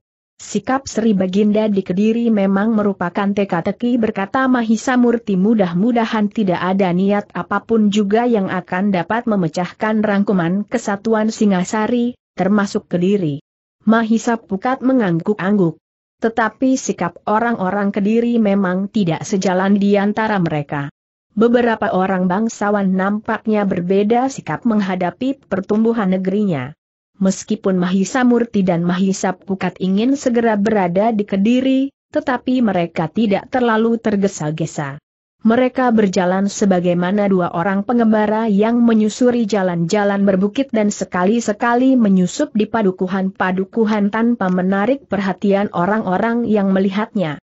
Namun ada juga satu dua orang yang memperhatikannya sambil bergumam apakah yang dilakukan oleh kedua anak muda itu? Apakah mereka lebih suka mengembara tanpa tujuan daripada membantu ayahnya bekerja di sawah? Tetapi jika ada juga orang yang bertanya kepada mereka di warung-warung, apakah yang mereka cari dalam pengembaraan, keduanya selalu menjawab, bahwa mereka sudah tidak berkeluarga dan hidup dalam pengembaraan.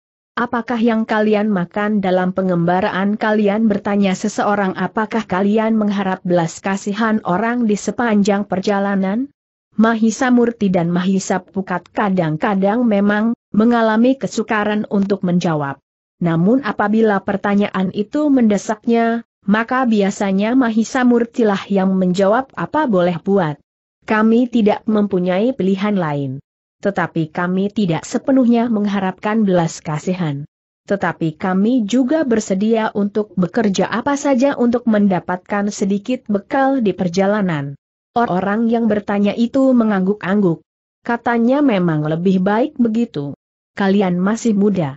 Jika kalian menggantungkan diri pada belas kasihan orang lain, maka hidup kalian bukanlah satu kehidupan yang sebenarnya. Tetapi apakah kalian tidak ingin untuk menetap dan bekerja pada seseorang? Pertanyaan itu memang membingungkan.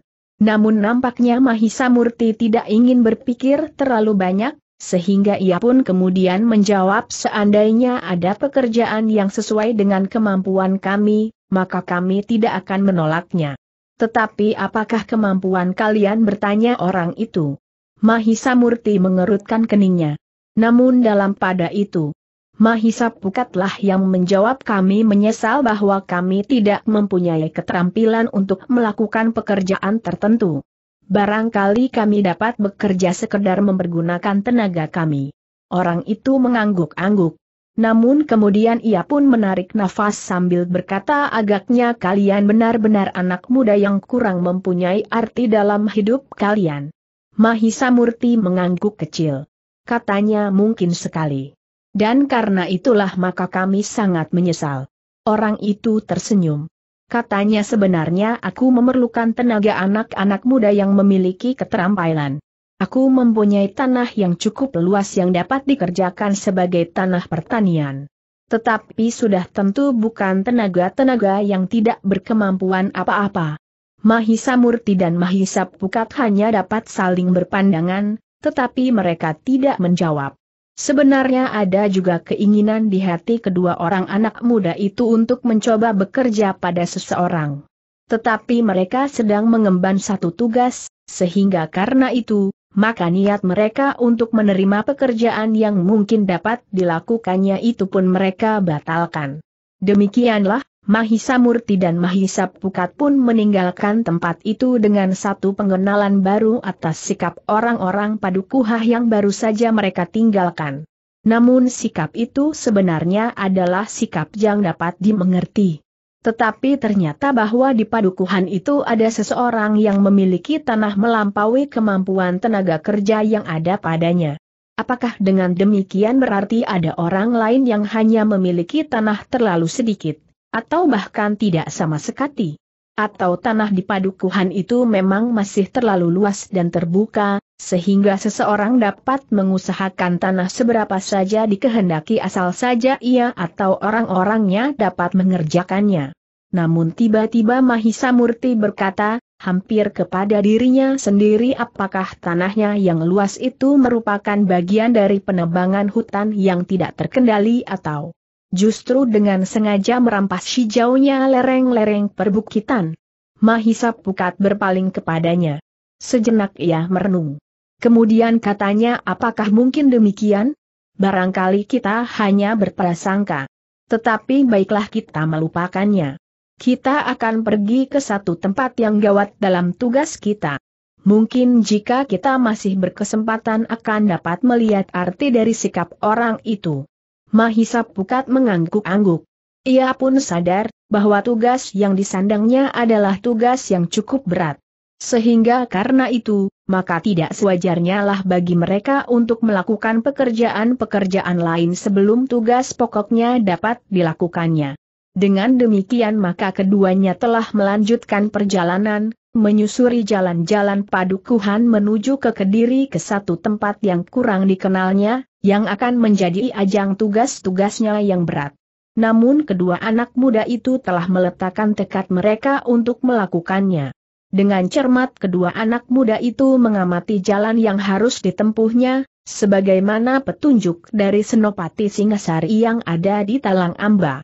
Mereka mengenali pertanda-pertanda yang ada pohon-pohon besar, tikungan dengan ciri-ciri alamnya dan bangunan-bangunan yang mudah dikenal. Kita berada di jalan yang agaknya benar berkata Mahisap Pukat tetapi seperti pesan yang kita terima. Tidak mudah untuk memasuki lingkungan yang ditunjuk itu. Mahisa Murti mengangguk-angguk. Jawabnya kita harus sangat berhati-hati. Tetapi agaknya kita tidak akan dapat langsung memasuki daerah itu. Kita harus berhenti dan bermalam di luar lingkungan yang disebut sambil mengamati kemungkinan-kemungkinan yang paling baik. Ya Mahisap Pukat mengangguk-angguk kita harus mengingat bahwa Pangeran Kuda Permati sudah tidak ada di dalam kota. Mungkin orang-orangnya pun telah memencar di segala sudut latah kediri, termasuk daerah ini. Sebenarnya kita tidak tergesa-gesa memasuki daerah yang ditunjuk. Jika kita mendapat kesempatan yang lain dalam rangka tugas ini, kita akan dapat melakukannya berkata Mahisa Murti. Tetapi segala sesuatunya akan lebih baik, jika kita telah melaporkan diri atas kedatangan kita dan memasuki lingkungan mereka sahut Mahisa Pukat. Mahisa Murti mengangguk-angguk sambil menjawab ya, aku sependapat. Tetapi malam ini kita akan bermalam di padang terbuka. Namun keduanya memang sudah terbiasa bermalam di sembarang tempat. Karena itu, maka mereka pun sama sekali tidak merasa terganggu mereka em mencari padang perdu yang agaknya tidak sering dijamah orang. Di atas rerumputan kering, keduanya akan tidur sebagaimana sering mereka lakukan. Namun mereka tidak agak tidur berbareng. Mereka akan tidur bergantian. Apalagi mereka berada di tempat yang tidak mereka kenal dengan baik, sehingga banyak kemungkinan dapat terjadi. Demikianlah, mereka ternyata telah mendapatkan tempat yang baik. Semalaman keduanya sama sekali tidak terganggu oleh apa pun. Menjelang pagi keduanya memang mendengar raung seekor binatang buas di hutan yang tidak terlalu jauh. Tetapi suara itu pun kemudian lenyap tidak terdengar lagi. Pagi-pagi benar keduanya telah mencari air untuk mencuci muka. Baru kemudian mereka melanjutkan perjalanan menuju ke arah yang ditunjukkan oleh Senopati Singasari di Talang Amba. Tetapi mereka masih belum berani dengan serta-merta memasuki daerah itu. Satu daerah yang terletak tidak terlalu jauh dari lingkungan kota Raja Kediri. Namun satu lingkungan yang agaknya tidak begitu ramai. Menilik kehidupan sehari-hari, lingkungan itu tidak ubahnya dengan lingkungan padukuhan pada umumnya. Tidak ada tanda-tanda yang menarik perhatian seandainya mereka belum mendapat petunjuk dari senopati yang ada di Talang Amba. Namun mereka pun menyadari, bahwa yang mungkin berkeliaran bukan saja para pengamat dari Singasari, tetapi mungkin juga orang-orang pangeran kuda permati, atau bahkan orang lain sama sekali dari kedua lingkungan itu. Karena tidak mustahil. Kediri sendiri ingin mengetahui apa yang bergejolak di dalam dirinya. Dengan sikap pengebara, keduanya melanjutkan perjalanan, memasuki padukuhan-padukuhan. Keduanya berhenti pada sebuah simpang empat yang ramai, yang nampaknya menjadi pemberhentian barang-barang yang dibawa dari keempat jalur jalan dan ke arah keempat jalur jalan itu pula. Di sebelah simpang empat itu ternyata memang terdapat semacam pasar untuk saling menukarkan barang-barang. Mahisa Murti dan Mahisa Pukat termangu-mangu sejenak menilik bangunan yang ada dan kelengkapannya, maka tempat itu tentu pernah mengalami satu masa yang jauh lebih ramai dari saat-saat itu. Kenapa perdagangan di sini nampaknya menjadi mundur bertanya Mahisa Murti hampir kepada diri sendiri. Mahisa Pukat berpaling ke arahnya. Namun ia pun tidak dapat memberikan jawaban, kecuali satu dugaan barangkali perkembangan keadaan yang telah membuat pasar ini menjadi agak sepi. Mahisa Murti mengangguk-angguk. Lalu katanya kau lihat warung itu? Marilah ajak Mahisa Pukat. Keduanya kemudian memasuki sebuah warung yang tidak terlalu besar. Satu di antara beberapa buah warung yang terdapat di tempat ini. Ketika mereka memasuki warung itu, di dalamnya sudah ada dua orang lain yang sedang sibuk menyuapi mulut masing-masing dengan nasi hangat. Tiba-tiba saja terasa perutku sangat lapar desis Mahisa Pukat. Aku juga sahut Mahisa Murti. Keduanya pun kemudian memesan hangat dan nasi yang masih hangat pula. Namun dalam pada itu, di luar dugaan, maka mereka pun telah dihadapkan pada satu keadaan yang sulit. Selagi keduanya sibuk dengan nasi hangat masing-masing, maka terdengar derap kaki kuda. Demikian tiba-tiba dua ekor kuda telah berada di hadapan warung itu. Kedua orang yang sudah lebih dahulu berada di warung itu pun menjadi tegang.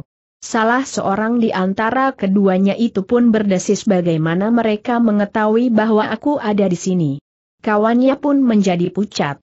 Katanya tentu ada penjilat yang menunjukkannya. Agaknya kita tidak akan dapat menghindar lagi. Yang lain tidak menjawab. Kedua orang penunggang kuda itu pun kemudian turun dan menjengukkan kepalanya ke dalam warung itu. Tiba-tiba saja salah seorang dari keduanya tersenyum. Namun senyumnya rasa-rasanya menusuk sampai ke pusat jantung. Ternyata kalian benar-benar ada di sini berkata orang yang tersenyum itu. Orang yang berada di dalam warung itu tidak menjawab tetapi wajah mereka nampak menjadi tegang. Marilah berkata orang berkuda itu jangan membuat aku marah. Bukankah kuda yang aku kehendaki itu kau jual? Tidak. Tidak aku jual jawab orang itu dengan suara patah-patah. Lalu, mana kuda itu desak orang berkuda itu? Kemenakanku menghendakinya jawab orang itu. Kenapa kau berikan juga kepadanya, sementara kau Mengerti bahwa aku menghendakinya berkata orang. Berkuda itu. Kau tidak berani membayar seperti yang aku kehendaki jawab orang itu. Orang berkuda itu membelalakkan matanya. Akhirnya ia membentak aku tidak perlu membayar. Aku dapat mengambil apa saja yang aku kehendaki. Apalagi seekor kuda. Bahkan nyawamu pun dapat aku ambil tanpa ada orang mencegahnya. Orang yang berada di dalam warung itu menjadi gemetar. Sekarang tunjukkan, di mana rumah kemanakanmu. Aku akan mengambil kuda itu. Jika kemanakanmu mencegahnya, maka nyawanya sekaligus akan aku ambil berkata orang berkuda itu dengar, kami memang sedang memerlukan kuda-kuda yang baik untuk perjuangan kami. Jika kau menolak memberikan kuda itu, maka berarti kau telah mengkhianati perjuangan kami. Kedua orang itu tidak dapat menjawab. Tetapi mereka benar-benar merasa cemas akan nasib mereka. Namun akhirnya salah seorang dari keduanya berkata kami tidak dapat mencegah kemanakanku mengambil kuda itu. Sebenarnya kami memang sangat memerlukannya. Kemanakanku telah banyak menolong aku dalam kesulitanku. Bahkan kemanakanku lah yang seakan-akan selama ini membayai hidupku. Kau dapat berkata apa saja berkata orang berkuda itu tetapi aku telah mengatakan kepadamu, bahwa aku memerlukan kuda itu. Tetapi, apakah kau dapat mengambil kuda itu begitu saja desis orang yang berada di dalam warung itu bukankah seharusnya kau membelinya?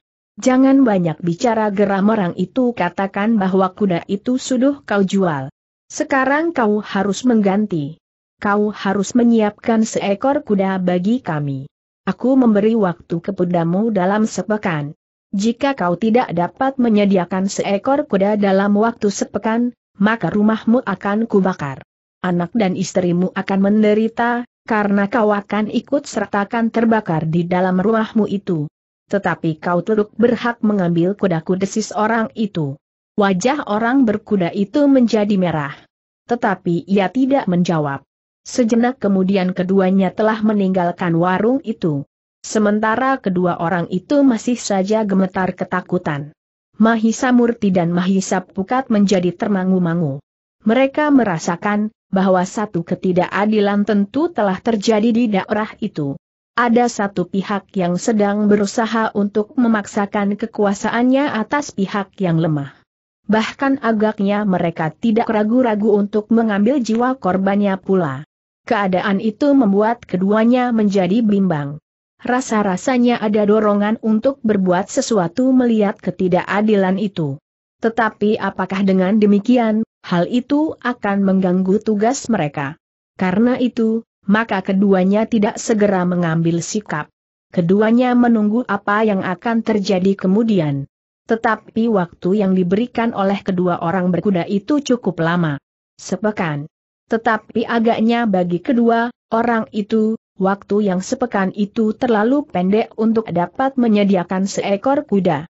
Dalam pada itu, kedua orang itu pun agaknya dengan tergesa-gesa telah menyelesaikan minuman dan makanan mereka. Setelah membayarnya, maka keduanya pun telah minta diri meninggalkan warung itu. Sepeninggal orang itu, maka Mahisa Murti dan Mahisa Pukat pun kemudian bertanya kepada pemilik warung itu tentang kedua orang yang sedang berada di warung itu dan tentang kedua orang berkuda itu. Siapakah kedua orang berkuda itu bertanya Mahisa Murti. Kami tidak begitu jelas jawab pemilik warung itu tetapi rasa-rasanya mereka belum terlalu lama berada di sini. Mereka adalah termasuk dalam sekelompok orang yang tinggal di sekitar daerah ini. Tetapi kami tidak tahu secara pasti. Mahisa Murti dan Mahisa Pukat mengangguk-angguk. Namun dalam pada itu, Mahisa Pukat pun bertanya siapakah dua orang yang dipaksa untuk menyerahkan kudanya itu? Penghuni padukuhan sebelah jawab pemilik warung itu. Lalu orang-orang yang belum banyak kami kenal telah berkeliaran di daerah ini. Yang menarik perhatian mereka terutama adalah kuda. Masih belum ada korban lain. Entah kemudian jika kuda yang ada di padukuhan itu telah habis. Bagaimana dengan para pengawal dari Kediri? Apakah mereka tidak berbuat sesuatu terhadap sikap yang demikian bertanya Mahisa Murti?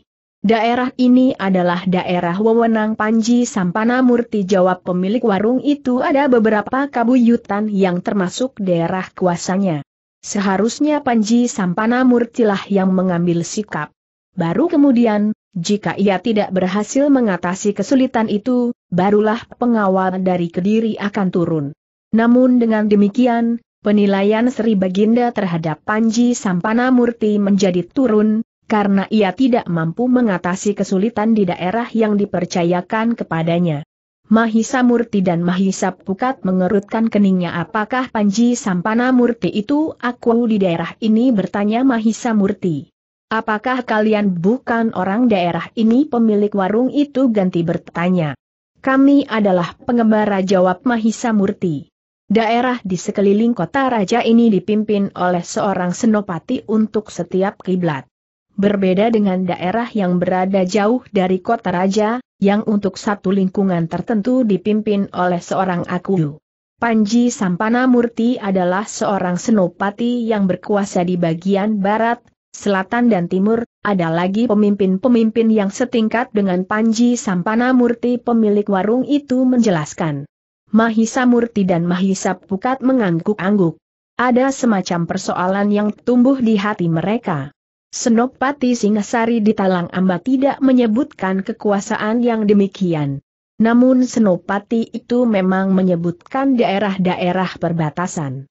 Agaknya kekuasaan semacam inilah yang disebut daerah perbatasan berkata keduanya di dalam hatinya. Namun dalam pada itu, Mahisap Pukat pun bertanya jika terjadi hal seperti yang menimpa kedua orang itu, apakah yang akan dilakukan oleh Panji Sampana Murti? Pemilik warung itu termangu-mangu sejenak. Namun kemudian katanya aku adalah penjual makanan dan minuman di sini. Aku tidak dapat menjawab pertanyaanmu anak muda. Selain aku tidak berani, aku pun tidak tahu. Mahisa Murti mengangguk-angguk. Tetapi ia masih mencoba untuk mendesak jangan kau tebak apa yang akan terjadi atau kemungkinan-kemungkinan yang dapat keliru. Tetapi apa yang sudah terjadi? Bukankah yang sudah terjadi itu bukan rahasia lagi? Bukankah hal itu sudah diketahui banyak orang? Pemilik warung itu termangu-mangu. Namun kemudian belum pernah terjadi sesuatu. Maksudmu pengambilan kuda milik seseorang baru terjadi kali ini bertanya Mahisa Pukat. Tidak. Bukan demikian jawab pemilik warung itu. Oh Mahisa Murti mengangguk-angguk, aku mengerti. Sekarang, hal yang serupa sudah pernah terjadi. Tetapi, tidak ada tindakan apa-apa yang pernah dilakukan oleh Panji Sampana Murti. Bukankah begitu? Orang itu menjadi tegang. Kemudian katanya aku tidak mengatakan demikian. Kalian sendirilah yang mengambil kesimpulan itu. Terserah saja kepada kalian. Mahisa Murti dan Mahisa Pukat mengangguk-angguk. Tetapi jawaban itu justru telah mengiyakannya. Meskipun demikian Mahisa Murti dan Mahisa Pukat tidak mendesaknya lagi. Keduanya menyadari, bahwa pemilik warung itu tentu ingin mengalami kesulitan dengan keterangan-keterangan yang diberikannya kepada orang yang tidak begitu dikenalnya. Dalam pada itu, maka sejenak kemudian Mahisa Murti dan Mahisa Pukat pun telah minta diri setelah mereka membayar makanan dan minuman yang telah mereka makan dan minum di dalam jurang itu. Namun demikian ketika keduanya telah berada di pintal, Mahisa Murti masih bertanya siapakah orang yang memiliki kuda itu hi. Sudah aku katakan, orang padukuhan sebelah jawab pemilik warung itu. Namanya desak Mahisa Pukat. Untuk apa kau tahu namanya bertanya pemilik warung itu? Tidak untuk apa-apa. Hanya sekedar mengetahui saja jawab Mahisa Pukat. Agaknya kau tidak bersangkut paut. Mungkin hari ini kau sudah meninggalkan tempat ini, berkata pemilik warung itu. Namun aku akan tetap mengingatnya bahwa hal serupa ini pernah terjadi di sini atas seseorang. Nah barangkali aku memang ingin mengetahui namanya? Bukankah nama orang itu bukannya merupakan satu rahasia? Bukankah setiap orang di daerah ini sudah mengenal namanya Mahisap Pukat masih mendesak? Pemilik warung itu termangu-mangu sejenak. Namun kemudian katanya yang seorang bernama Kudatu. Kuda tu ulang Mahisa Pukat. Ya, ialah yang memiliki kuda itu. Nah, aku sudah cukup memberikan keterangan berkata pemilik warung itu. Terima kasih. Aku akan meneruskan pengembaraanku. Namun jika aku masih betah tinggal di sini, aku kira aku masih akan singgah di warung ini.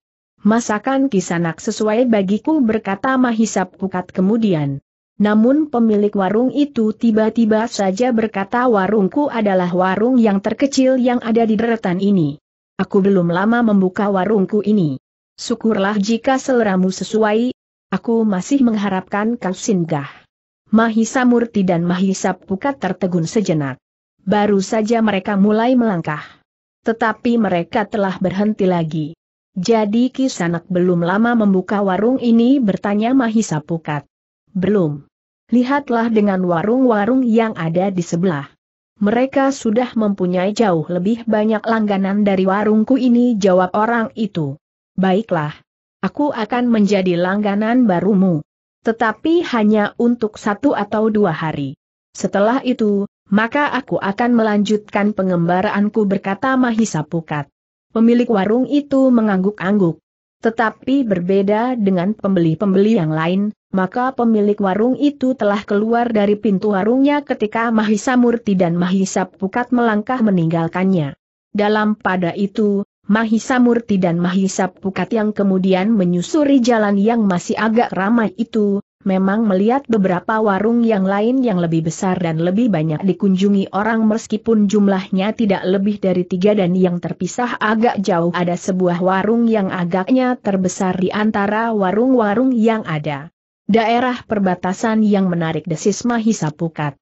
Lalu aku menghubungkan kedua orang berkata itu dengan menyingkirkan Pangeran Kuda Permati dan pasukannya dari kota raja. Mungkin jawab Mahisa Murti sehingga dengan demikian Panji Sempana Murti tidak dapat dengan tergesa-gesa mengambil langkah-langkah tegas karena ia menghadapi satu kekuatan yang cukup besar. Tetapi tentu tidak seperti yang dikatakan oleh pemilik warung itu, bahwa ia tidak dapat berbuat apa-apa dalam hubungannya dengan kediri berkata Mahisa Pukat jika ia dapat memberikan laporan yang sewajarnya, maka kediri tentu akan mengambil langkah-langkah yang paling pantas. Mahisa Murti menarik nafas dalam-dalam. Katanya kemudian kita sedang menghadapi satu daerah yang bergolak. Kita tidak mengetahui apa yang terkandung di dalam perut Kediri sekarang ini.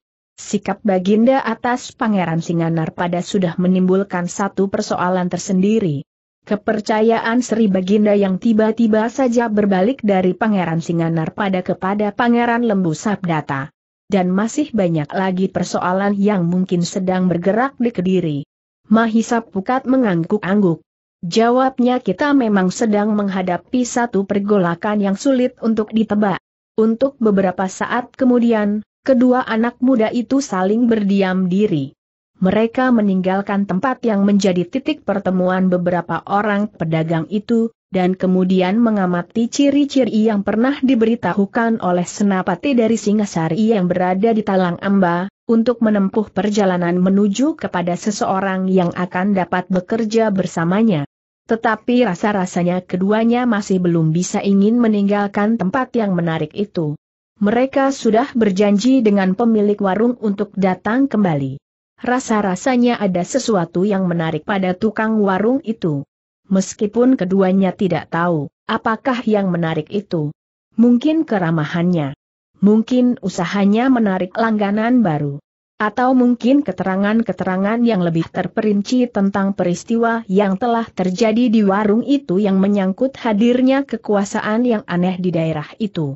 Karena itu, maka Mahisa Murti dan Mahisa Pukat memutuskan untuk tetap berada di tempat itu barang satu dua hari. Namun demikian, untuk kepentingan langkah-langkah berikutnya, mereka mulai mengenali arah yang harus mereka tempuh pada sisa perjalanan mereka. Meskipun sudah tidak terlalu jauh, tetapi justru merupakan bagian yang paling rumit dari seluruh perjalanannya. Dalam beberapa puluh langkah mereka mulai mengenali salah satu pertanda yang diberikan oleh Senopati itu. Sebuah gumuk kecil berbatu padas dengan sebatang pohon besar di sebelahnya. Itulah pohon preh itu berkata Mahisa Murti. Ya, pada saatnya kita harus menempuh perjalanan ini. Kita menuju ke arah yang benar. Beberapa ratus langkah lagi tentu akan terdapat sebatang sungai kecil yang airnya berwarna keputih-putihan. Agaknya air sungai itu mengandung kapur yang larut ke dalam airnya berkata Mahisa Pukat. Mahisa Murti mengangguk-angguk. Lalu katanya tugas kita sekarang adalah mencari tempat untuk bermalam nanti.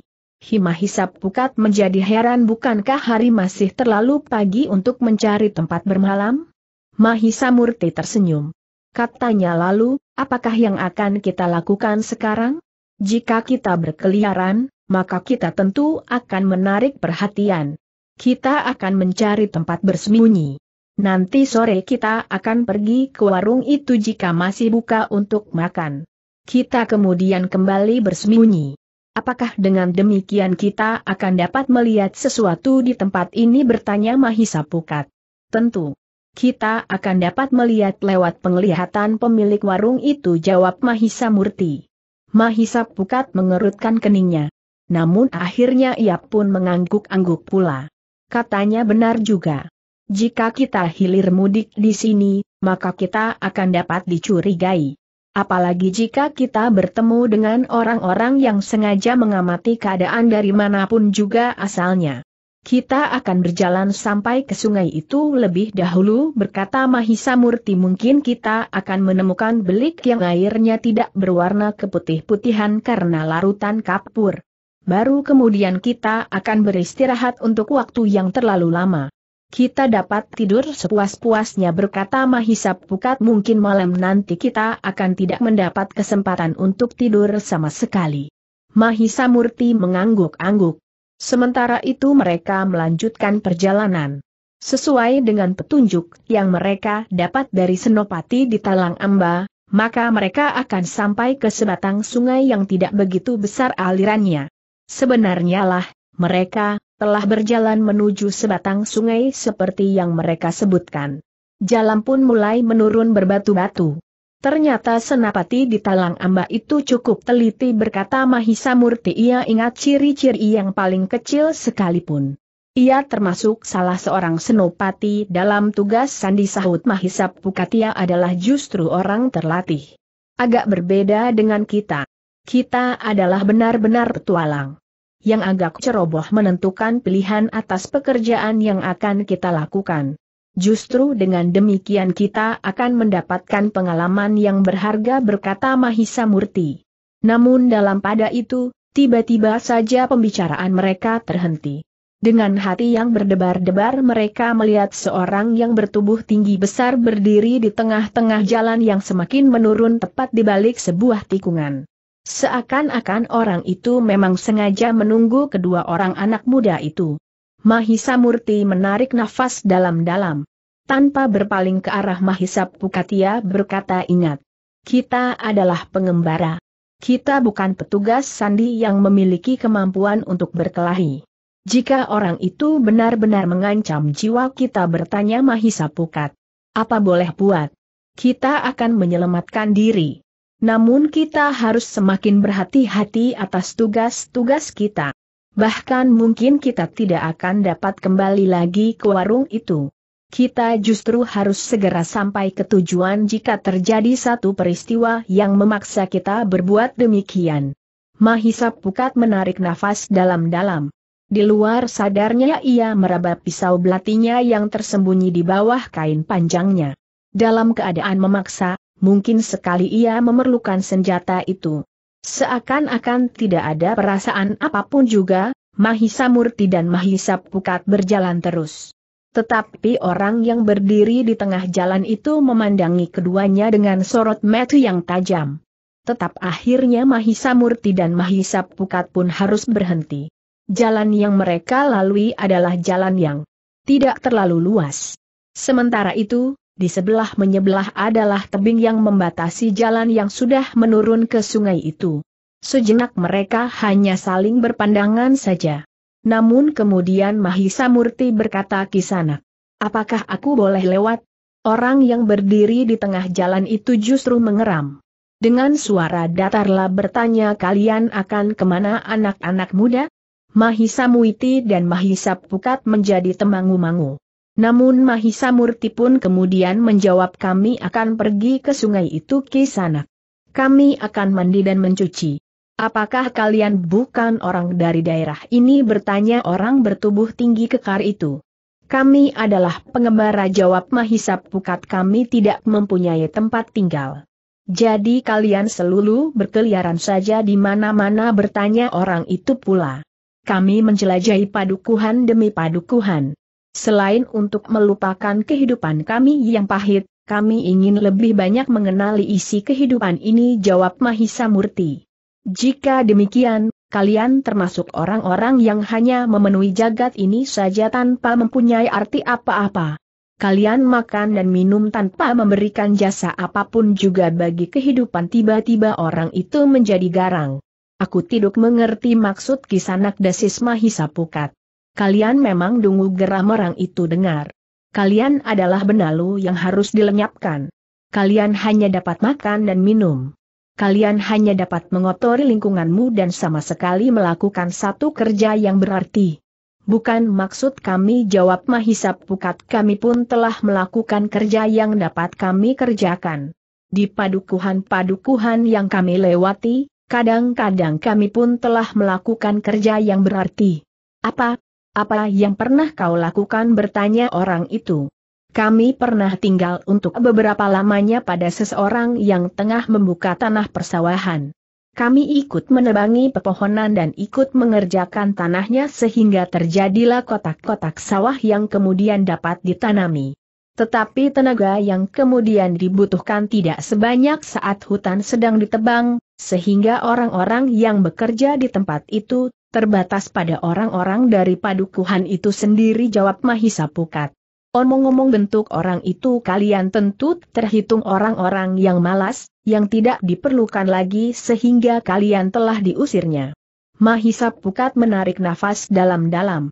Sementara itu Mahisa Murti pun berkata dengan nada rendah mungkin memang nasib kami terlalu buruk. Sebenarnya kami pun sedang berusaha untuk mendapatkan pekerjaan, sehingga hidup kami bukanlah semata-mata hidup yang sia-sia. Tidak ada artinya lagi bagiku berkata orang itu aku termasuk salah seorang dari sekelompok orang yang telah berhimpun dan menentukan atau sikap. Kami akan menghapuskan benalu-benalu macam kalian. Aku sudah menyingkirkan lebih dari sembilan orang. Jika hal semacam ini aku lakukan terus-menerus bersama dengan kawan-kawan sekelompok yang mempunyai keinginan yang sama, maka dalam waktu beberapa tahun, orang-orang seperti kau ini akan habis. Dunia akan bersih dari benalu-benalu yang hanya dapat menghisap tanpa memberikan imbalan apa pun juga bagi lingkungannya. Mahisa Murti dan Mahisa Pukat saling berpandangan. Sekilas mereka merasa telah berhadapan dengan seseorang dalam hubungan yang tidak ada sangkut pautnya sama sekali dengan persoalan-persoalan yang timbul di Kediri. Tidak ada hubungannya dengan sikap Pangeran Kuda Permati atau sikap Pangeran Singanarpada. Tetapi keduanya pun tidak langsung mempercayai sikap itu sebagai sikap yang wajar. Mungkin ada alasan tertentu yang tersembunyi di balik sikapnya yang nampaknya tidak ada hubungannya sama sekali dengan perkembangan keadaan di Kediri.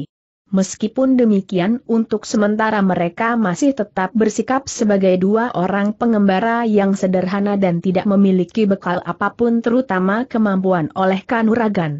Karena itu, ketika orang itu kemudian melangkah maju, Mahisa Murti dan Mahisa Pukat telah bergeser mundur. Jangan menyesal geram orang itu meskipun kalian masih muda, tetapi kalian tidak berguna sama sekali bagi kehidupan, sehingga karena itu, maka sebaiknya kalian aku lenyapkan saja.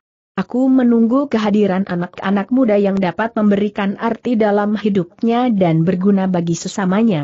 Jangan desis Mahisa Murti bukanlah aku tidak mengganggumu kisanak. Aku tidak pernah mengambil milik orang lain. Aku tidak pernah memaksa orang lain untuk memberikan apa pun juga kepadaku. Sementara kami berdua pun selalu berusaha untuk dapat berbuat apa saja untuk mendapatkan upah yang dapat kami makan dari hari ke hari. Jika kami tidak mempunyai persediaan lagi, maka kami berusaha untuk menangkap binatang buruan untuk mempertahankan hidup kami. Persetan dengan igawanmu geram orang itu sembilan orang yang terdahulu, atau bahkan lebih, Aku bantai tanpa kesulitan.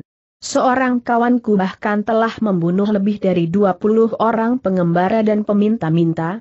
Dengan demikian maka dalam waktu yang tidak terlalu lama Kediri akan beraih dari benalu-benalu. Jangan kisanak.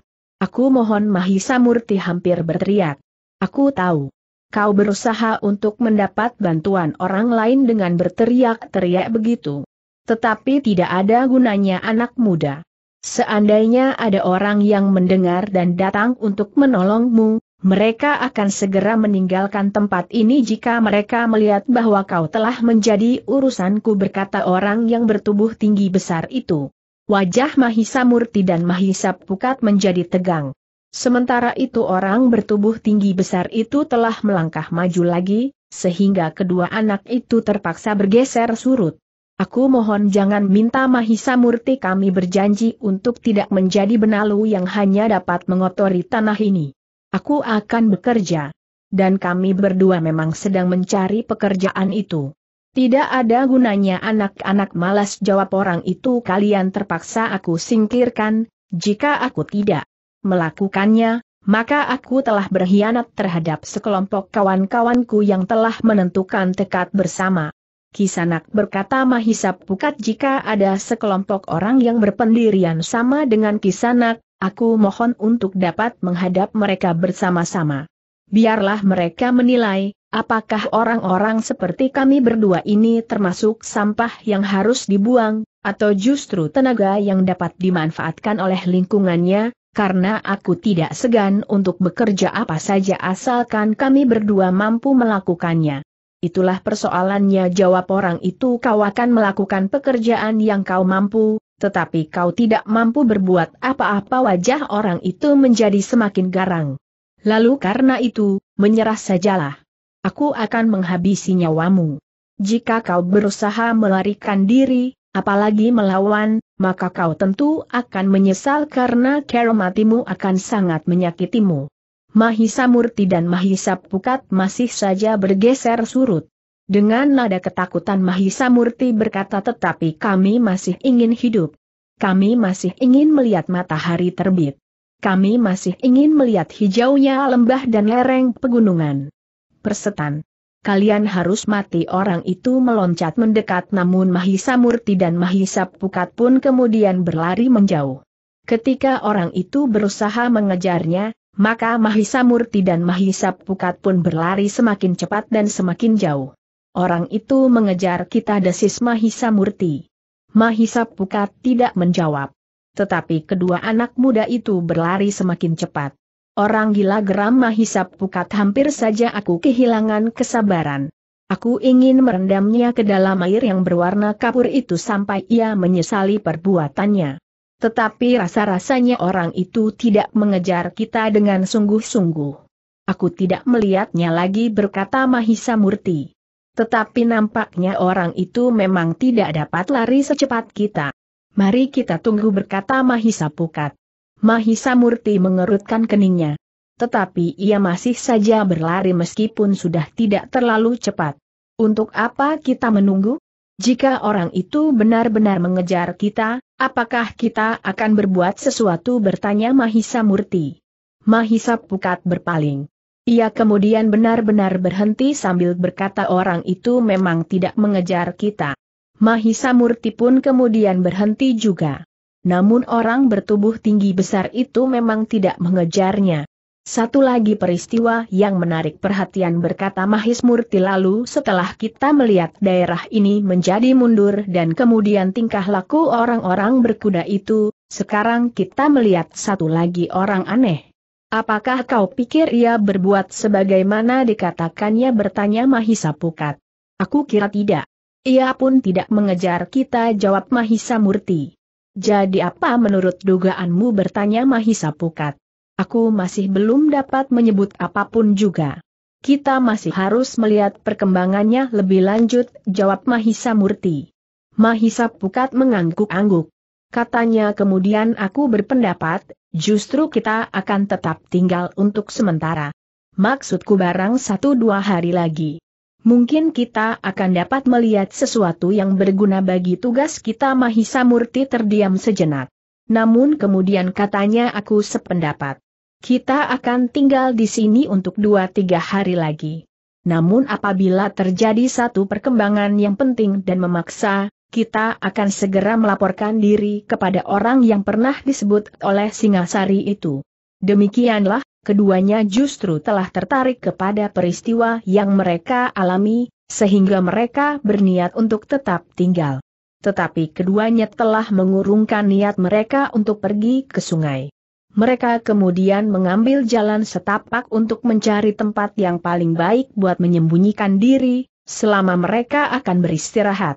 Namun demikian, pada saat matahari condong ke barat, mereka telah bersepakat untuk melihat Apakah warung itu masih tetap terbuka?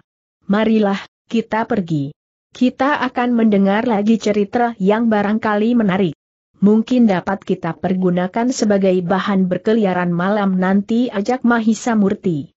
Mahisa Pukat pun mengiyakannya. Tetapi mereka sadar, bahwa mereka harus berhati-hati. Orang bertubuh tinggi besar itu dapat mereka jumpai di mana saja. Bahkan mungkin orang itu berada di warung itu pula, sehingga keduanya tidak akan dapat menghindarinya lagi. Demikianlah sejenak kemudian, kedua orang anak muda itu sudah berada lagi di persimpangan yang ramai itu. Tetapi pada menjelang sore hari, nampaknya tempat itu sudah menjadi semakin sepi, meskipun nampak ada beberapa pedati yang justru sedang memuat beberapa hasil bumi. Nampaknya masih saja ada orang yang saling menukarkan kebutuhan.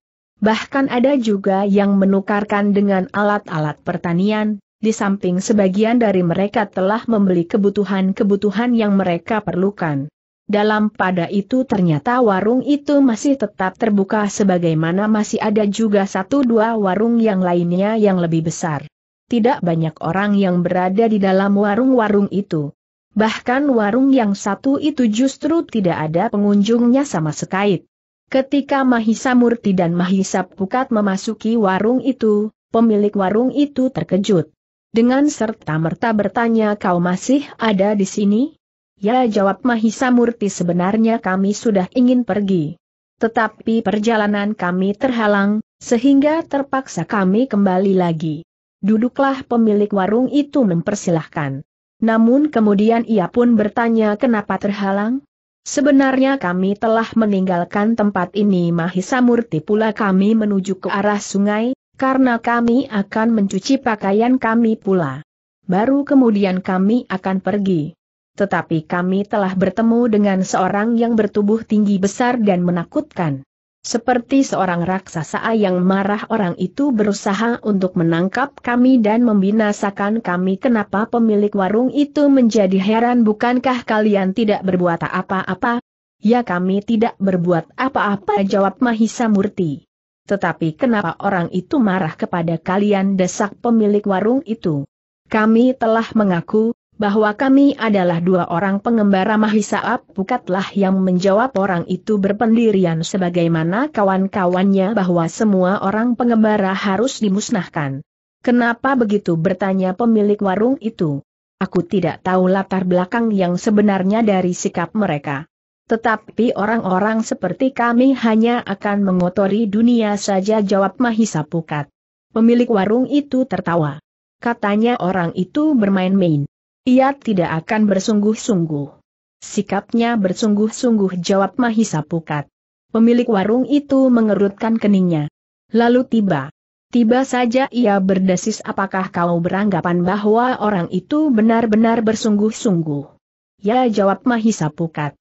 Pemilik warung itu mengerutkan keningnya, seolah-olah sedang memikirkan sesuatu yang sangat penting. Namun tiba-tiba ia bertanya hi, jika demikian, kenapa kalian tidak pergi saja dari sini kalian agaknya telah mendapat kesempatan untuk terlepas dari tangannya. Tetapi kalian justru masih tetap berada di sini. Pertanyaan itu memang membingungkan kedua anak muda itu. Namun kemudian Mahisa Murtilah yang menjawab apakah orang itu pernah datang kemari? Kenapa bukankah setiap orang dapat saja datang ke tempat ini pemilik warung itu justru bertanya. Seandainya raksasa itu datang dan berusaha menangkap kami, apakah orang-orang yang ada di tempat ini tidak akan menolong kami dan mengusir raksasa itu bertanya Mahisa Murti pula. Pemilik warung itu menarik nafas dalam-dalam. Katanya raksasa itu memang pernah datang kemari tidak ada orang yang berani melawan orang yang bertubuh tinggi besar itu. Apalagi ia memang mempunyai beberapa kawan.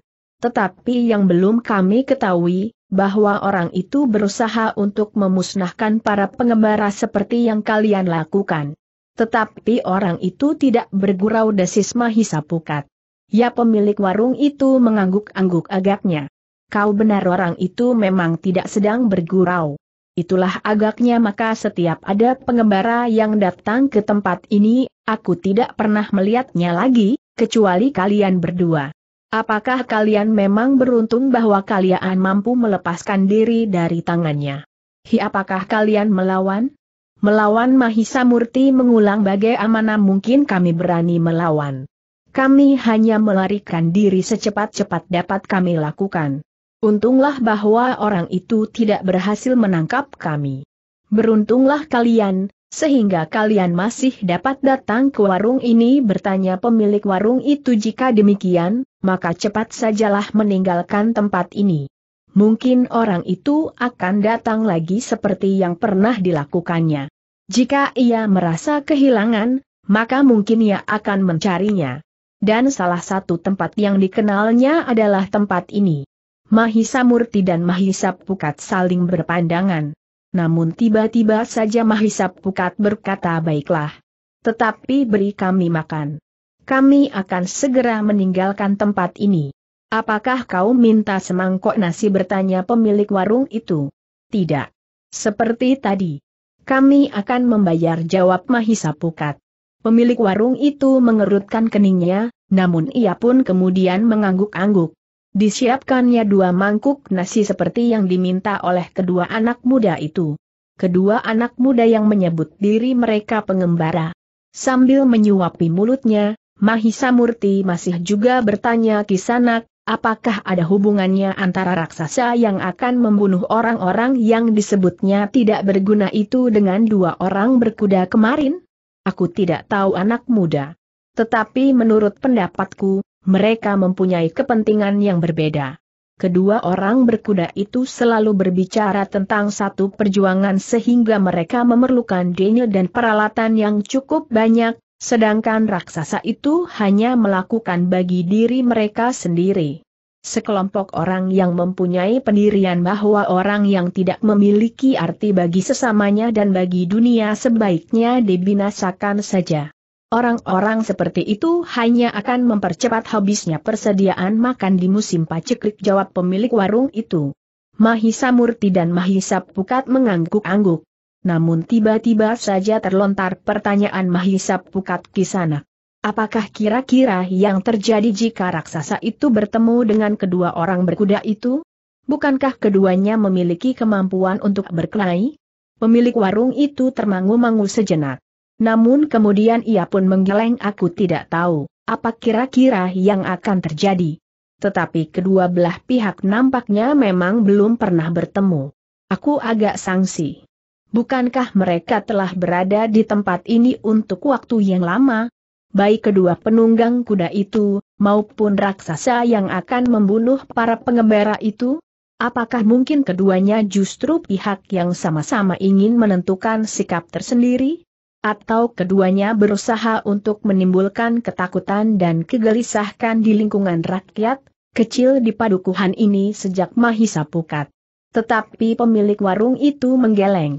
Katanya menurut dugaanku, raksasa dan dua orang penunggang kuda itu berdiri di pihaknya masing-masing dengan kepentingannya masing-masing. Soalnya hanyalah, aku tidak tahu apa yang akan terjadi jika mereka saling bertemu di sini. Mungkin kedua pihak menjadi saling menyegani sehingga kedua pihak tidak berbuat apa-apa dan tidak saling mengganggu. Tetapi entahlah. Aku tidak dapat membuat ramalan-ramalan seperti itu. Mahisa Murti dan Mahisa Pukat tidak bertanya lagi.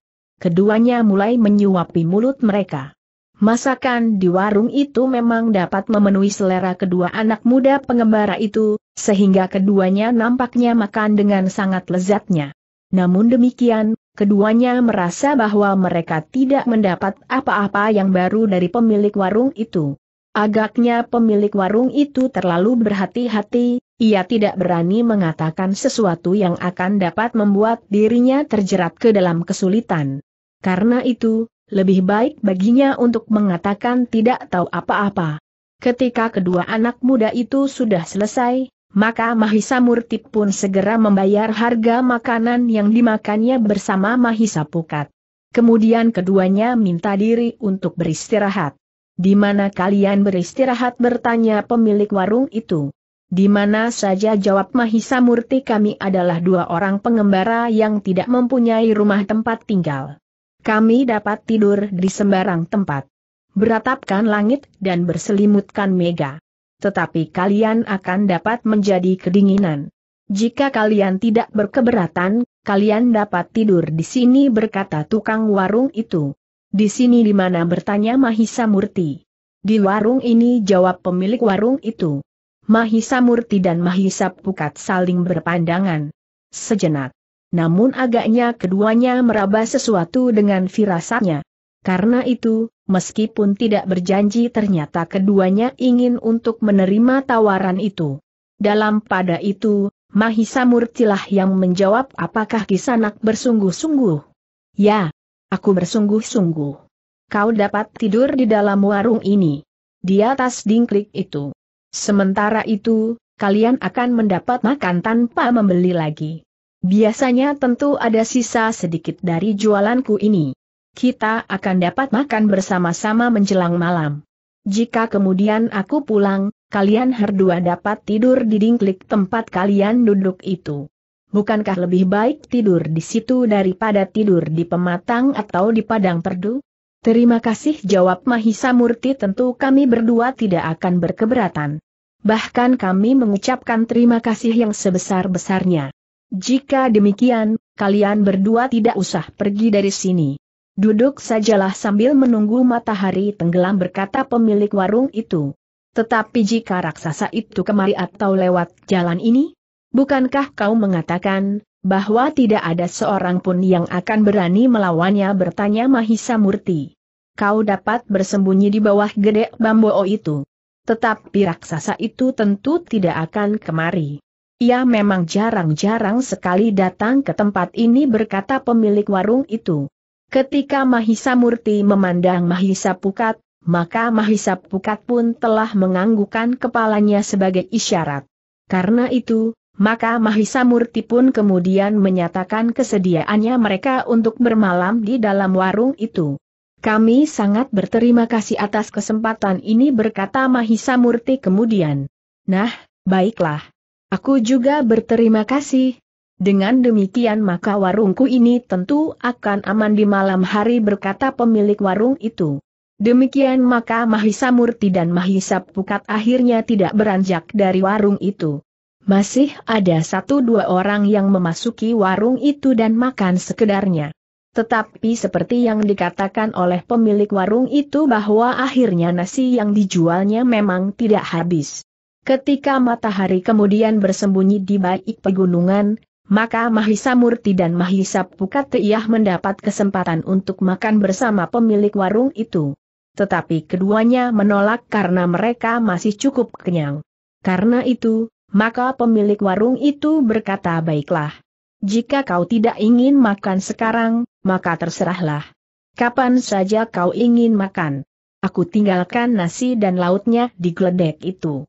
Tetapi ingat, di sini banyak tikus.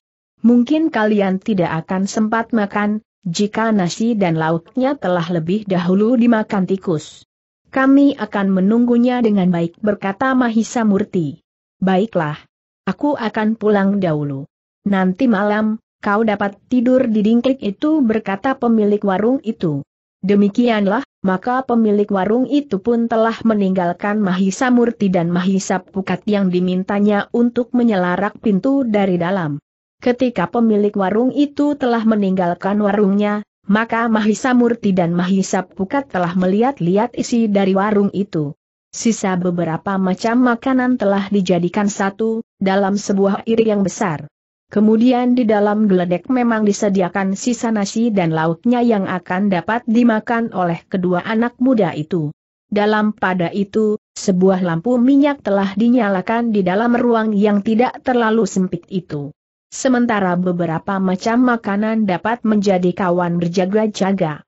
Tetapi dalam pada itu Mahisa Pukat pun mulai membaringkan dirinya di atas dingklik bambu sambil bergumam udara terasa sangat pengap di dalam. Terasa cukup hangat dibanding dengan udara di padang perdu itu jawab Mahisa Murti. Tentu sahut Mahisap Pukat tetapi rasa-rasanya kita di sini justru terkurung di dalam satu ruang yang sempit yang tidak memberikan banyak kesempatan kepada kita untuk bergerak.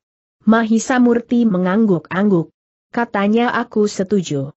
Rasanya kita memang seperti seekor ayam di dalam kurungan. Keduanya pun terdiam sejenak. Mahisa Murti pun kemudian membaringkan diri pula di dingklik yang lain. Sejenak keduanya mengamati atap warung yang pendek itu. Namun tiba-tiba Mahisap Pukat telah bangkit. Diambilnya sisa makanan yang tidak terjual yang ada di dalam irik yang besar. Kemudian ia duduk lagi di atas dingklik bambu sambil mengunyah makanan. Enak juga makanan di warung ini berkata Mahisap Pukat kebetulan aku telah memungut sepotong jenang alot. Manis sekali jawab Mahisa Murti. Jika kau ingin makanan yang gurih, ambil sajalah berkata Mahisap Pukat kemudian besok makanan itu tentu hanya akan dibuang. Mahisa Murti berdesis aku akan tidur. Kau duduk sajalah di situ. Nanti kau dapat membangunkan aku jika kau sudah mengantuk. Mahisa Pukat mengangguk sambil menjawab baiklah. Aku akan berjaga-jaga. Tetapi rasa-rasanya aku memang tidak akan dapat tidur di ruang sempit ini. Mahisa Murti tidak menjawab. Tetapi ia mulai memejamkan matanya. Tetapi sebenarnya lah, seperti Mahisa. Pukat, ia tidak dapat lelap, dalam kegelisahan. Memang rasa-rasanya ia berada di dalam sebuah kurungan. Setiap saat seseorang akan dapat datang untuk menangkap mereka dalam genggamannya. Karena itu, maka tiba-tiba Mahisa Murti itu pun bangkit kembali sambil berkata aku tidak akan dapat juga tidur. Rasa-rasanya kita memang berada dalam perangkap. Sengaja atau tidak sengaja. Apakah sebaiknya kita berada di luar bertanya Mahisa Pukat. Aku setuju. Kita akan tidur di luar. Di tempat yang tidak mudah dilihat dari arah mana pun juga jawab Mahisa Murti. Layu katanya kita dapat memanjat pohon mahoni. Mahisa Pukat mengangguk-angguk. Lalu katanya tetapi biarlah kita makan dahulu. Kita tentu tidak perlu tergesa-gesa. Seandainya benar kita berada di dalam perangkap, tentu lewat tengah malam kita akan ditangkap. Aku setuju. Marilah kita makan dahulu jawab Mahisa Murti. Demikianlah, maka keduanya pun telah makan nasi dan lauk yang memang ditinggalkan bagi mereka oleh pemilik warung itu. Namun yang tidak mereka lakukan sebagaimana yang dikehendaki oleh pemilik warung itu, setelah mereka makan sekenyang-kenyangnya, maka mereka pun justru telah meninggalkan warung itu dengan diam-diam. Meskipun Shuzana sangat sepi dan tidak ada seorang pun yang nampak di sekitar tempat itu, namun kedua anak muda itu cukup berhati-hati. Demikianlah, maka kedua orang anak muda itu pun benar-benar telah memanjat pohon mahoni. Dari salah satu dahan yang cukup besar mereka dapat melihat warung yang baru saja ditinggalkannya. Sebenarnya aku lebih senang tidur di bawah daripada tidur di atas dahan seperti ini desis Mahisa Pukat. Hati-hatilah, agar kau tidak jatuh dalam tiduran berkata Mahisa Murti. Tetapi sebagai pengembara, maka keduanya bukannya untuk pertama kali tidur di atas sebatang pohon. Karena itu maka keduanya pun dapat menempatkan diri mereka sebaik-baiknya. Seperti yang selalu mereka lakukan, maka mereka telah mengatur waktu mereka. Mahisa Pukat mendapat giliran untuk beristirahat lebih dahulu. Baru kemudian Mahisa Murti. Demikianlah, keduanya duduk diam bertengger di atas dahan. Namun demikian, ada semacam ketegangan yang menyusup di dalam hati mereka. Keduanya seakan-akan telah mendapatkan satu firasat bahwa akan terjadi sesuatu pada warung yang ditinggalkannya. Sampai tengah malam, tidak nampak terjadi sesuatu pada warung itu. Karena itu, maka sejenak kemudian Mahisa Pukat akan mendapat giliran untuk berjaga-jaga, sementara Mahisa Murti akan beristirahat sambil memeluk batang mahoni itu. Namun dalam pada itu, sebelum Mahisa Murti memejamkan matanya, Tiba-tiba saja matanya justru terbuka lebar-lebar. Kedua anak muda itu telah mendengar desir langkah yang mendekat. Mahisa Murti menggamit Mahisa Pukat sambil menunjuk ke satu arah. Mereka telah melihat dua orang yang berjalan dengan hati-hati mendekati warung itu. Yang seorang di antara mereka adalah orang yang bertubuh tinggi besar itu. Raksasa itu memang gila geram Mahisa Murti di dalam hatinya. Bahkan Mahisa Pukat berdesis aku ingin memilih kumisnya. SST Mahisa Murti menempatkan jarinya di muka mulutnya. Mahisa Pukat mengerutkan keningnya, sementara kedua orang itu semakin lama menjadi semakin dekat dengan warung itu.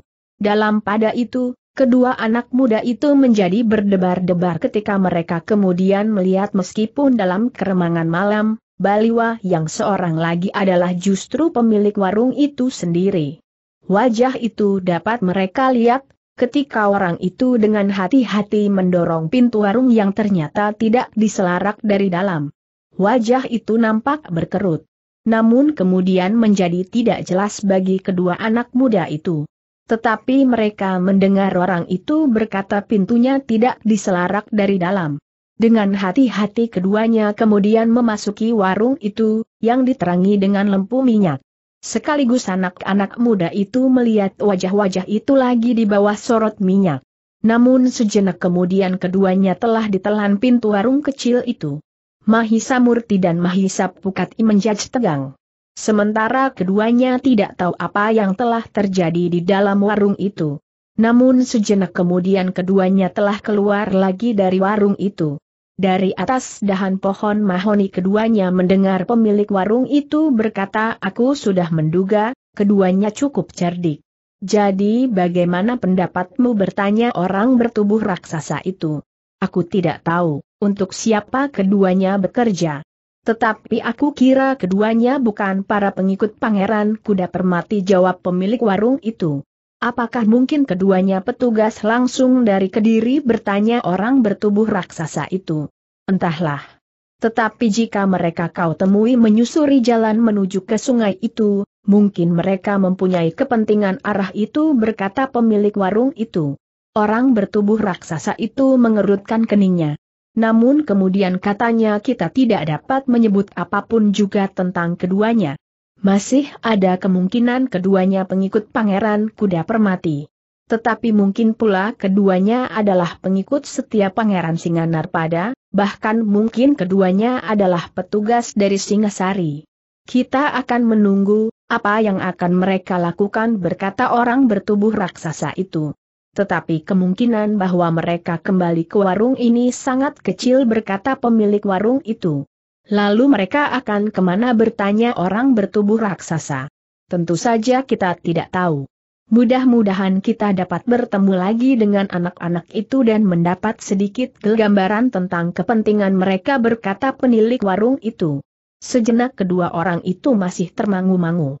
Namun kemudian pintu warung itu pun telah ditutup tanpa diseiarak baik dari luar maupun dari dalam. Setelah kedua orang itu meninggalkan warung kecil itu maka Mahisa Murti dan Mahisa Pukat pun menarik nafas dalam-dalam. Tetapi keduanya masih tetap berhati-hati. Mungkin kedua orang itu masih belum meninggalkan tempat itu terlalu jauh. Bahkan mungkin kedua orang itu masih berusaha untuk menjebak kedua anak muda itu dari tempat yang tersembunyi.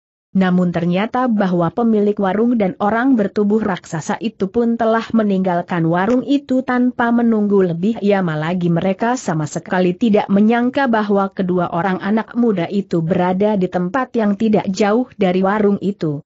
Dalam pada itu, maka Mahisa Murti dan Mahisa Pukat pun telah meninggalkan tempat itu pula meskipun mereka tahu bahwa kedua orang itu tidak akan datang lagi. Namun agaknya Mahisa Murti dan Mahisa Pukat telah mengambil satu keputusan tersendiri. Kita harus segera sampai kepada orang yang disebut oleh Senopati Singasari di Talang Amba itu berkata Mahisa Murti dengan demikian kita akan segera mendapat kepastian dengan siapa kita harus berhadapan tanpa mengetahui serba sedikit keadaan di sini, maka mungkin kita justru akan terjebak tanpa dapat berbuat apa-apa. Baiklah kita melanjutkan perjalanan sekarang berkata Mahisap Pukat meskipun malam hari, aku kira kita akan dapat menemukan jalan sampai ke tempat yang ditunjuk tanpa banyak kesulitan. Bukankah tempatnya sudah tidak terlalu jauh lagi dari sini? Tentu tidak menilik tempat ini dan sungai yang bertebing agak tinggi itu, maka kita sudah berada tidak jauh lagi dari tujuan berkata Mahisa Murti. Demikianlah keduanya kemudian telah meninggalkan tempat itu. Dalam kelamnya malam mereka menelusuri jalan menuju ke sungai sebagaimana pernah mereka tempuh. Tetapi di siang hari, dalam pada itu, kedua anak muda itu berjalan dengan cepat tanpa berprasangka apa pun juga mereka ternyata kurang memperhatikan jalan yang akan mereka lalui. Selain mereka ingin cepat-cepat sampai, maka agaknya kekelaman malam memang ikut menentukan. Karena itu, ketika mereka berbelok pada jalan yang menurun ke sungai yang dibatasi oleh dinding di sebelah menyebelah, maka keduanya terkejut. Bukan keduanya saja yang terkejut, tetapi seseorang yang duduk di pinggir jalan itu pun terkejut pula. Mahisa Murti dan Mahisa Pukat bergeser surut. Namun mereka menjadi berdebar-debar ketika orang itu kemudian berdiri. Ternyata orang itu adalah orang yang bertubuh tinggi besar yang baru saja mendatangi warung bersama pemiliknya itu. Gila geram Mahisa Murti. Namun dalam pada itu, ternyata orang bertubuh raksasa itu pun cepat bertindak. Ia pun telah siap untuk menghadapi segala kemungkinan. Bahkan katanya kemudian dengan suara berat kita telah bertemu lagi anak-anak. Kau, kemarin berhasil lolos dari tanganku. Tetapi kau sekarang tidak akan mendapat kesempatan lagi. Mahisa Murti dan Mahisa Pukat saling berpandangan sejenak. Namun terpancar di wajah mereka satu tekad untuk berjalan terus. Mereka ingin sampai ke tujuan pada saat yang cepat, karena ternyata daerah itu adalah daerah yang memiliki beribu kemungkinan di bawah pengamatan beribu pasang mata.